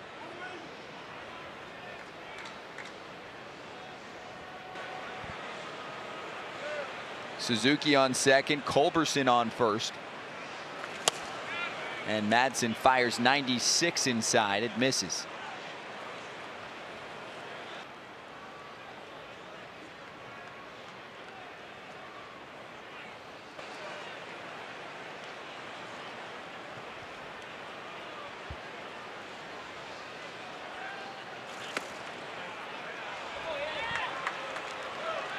Starting to get interesting. Two in the bullpen. Matt Grace on the left side. And Koda Glover throws from the right side. Koda Glover hasn't pitched in about a year and a half. He's been up with the club for a couple days now, has not made an appearance yet. Last appearance was June 10th of last year to Zimmerman. Goes to second for one. That's the only play. Trea Turner on the second base bag. So Charlie Culberson is retired. Ender Inciarte over at first. And moving to third is Kurt Suzuki. But one key out recorded by the Nationals. I have a question for Mark DeRosa. Do you take a strike right there if you're Inciarte to I- I try to get just- the tie and I run to was the plate? Yeah, I was just thinking the same thing. I, I'm s- I- I really was. You can't fault him. He's in count leverage 2-0 right there.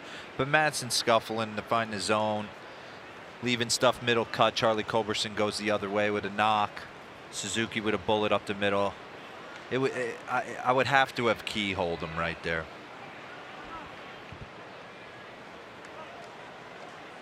Well, the senior member of the Nationals bullpen, 37-year-old Ryan Madson, gets one out.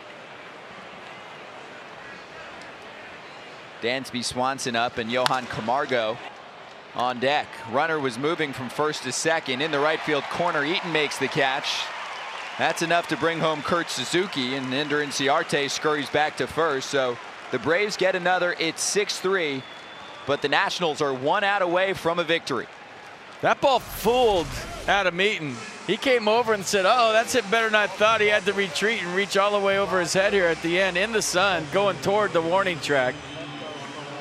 So that was potentially disastrous for the Nats, but he corrected his route and made a nice play.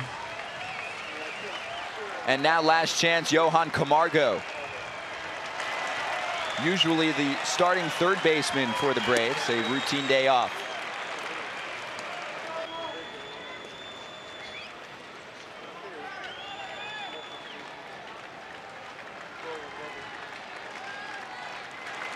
Twenty-four years old. Much better numbers against left-handed pitching so far this year. Good changeup right there.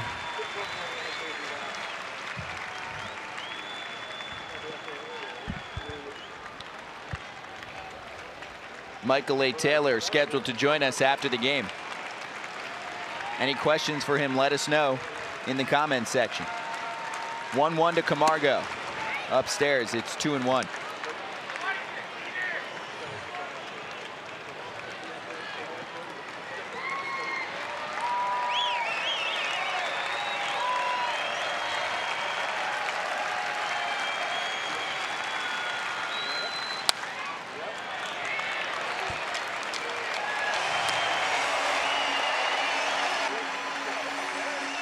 Well, the Braves entered the day winning 8 of 10 and looking to take three out of four against the Nationals, but this day was dominated by Gio Gonzalez. Nats fans on their feet. 2-2. And Ryan Madson has closed out the W for the Nationals. 6-3 your final and a four-game series split between Atlanta and Washington. It was a fun one. In a game that took just two and a half hours to complete. Afternoon baseball at Nationals Park. And the home crowd goes home happy. And we are live on Instagram right now at Scott Braun. We will take questions after we get off the air here. Any questions you have, follow at Scott Braun and we'll have about a 10 to 15 minute post-game show. But first we'll talk to Michael A. Taylor in about a minute or so. We'll take any questions in the comment section right now. For the Nationals, they up their record to 59 and 56. Atlanta falls to 62 and 50 on the year. Happy flight. A good getaway day win, going to Chicago for a big three-game weekend set against the Cubs, then on to St. Louis. So you talked about it. Everyone's going to be loose on the bus, loose on the plane, and maybe that translates into a, a win tomorrow in Chicago with the 1 o'clock start. That's right. Three at Chicago, four at St. Louis, then three against Miami, three more against Philadelphia for the Washington Nationals. And earlier today, we go back to the bottom of the fourth inning where Michael A. Taylor went long for Washington, and he joins us right now on MLB Live on Facebook Watch. Michael, congratulations on the victory and the home run back in the fourth. Take us through that at bat. What did you see? Uh, you know, just looking for a pitch up in the zone, trying to drive something through the middle. Uh, got something soft out over the plate and was able to stay through it. Hey, Michael D. Rowe here. I wanted to ask you, you're facing a guy you've probably never seen in your life before. Are you just looking for something up? You don't know what his slider really, how sharp it's going to be, how hot his heater's going to be. Yeah, I think uh, you know, seeing that first pitch was big, just trying to settle into the at-bat. Uh, like you said, you don't really know too much, and sometimes video can be deceiving. Um, so I saw a little video, went up there, just trying to pick up release point, and uh, you know, just put a short swing on a on a good pitch in the zone. We're also looking at a nice catch by Michael A. Taylor. Oh wow, laying out in short center field. Michael, how have you been able to stay so locked in and, and, not playing every day? Whether you come off the bench at a double switch, you get one at bat, or you get a spot start, you're contributing big time every time you get a chance. Thank you. Uh, just trying to go through at bats on the bench, I think, has been big for me. You know, my routine is huge. Just trying to feel good at the plate, um, you know, and uh, not do too much. You know, a lot of guys, a lot of veteran guys have helped me a lot. You know, Mark is, is great off the bench, and we've been talking, you know, just doing the little things. All right, so it's going to be a happy flight to Chicago. What does Michael A. Taylor do on the plane? Are you hanging? Are you reading a book? Are you locked in on some video games? Card No. guy? What are you doing? I'm a card guy. I'm going to beat uh, Zim and Wieters in Pluck. There you go. That's kind of an, an every flight thing for us. We'll get to it. Michael, thank you for joining us. Congrats on the W, and good luck the rest of the season. Thank you. Michael A. Taylor with us on MLB Live on Facebook Watch. 6 3 your final as the Nationals top the Braves and they creep up in the National League East standings. Now five and a half back of first place, and that's Philadelphia. They'll play later.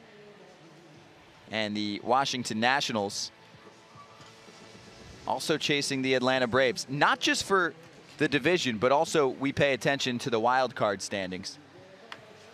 Atlanta currently holding a spot by a half a game, and the Nationals are just four and a half games out of a playoff spot.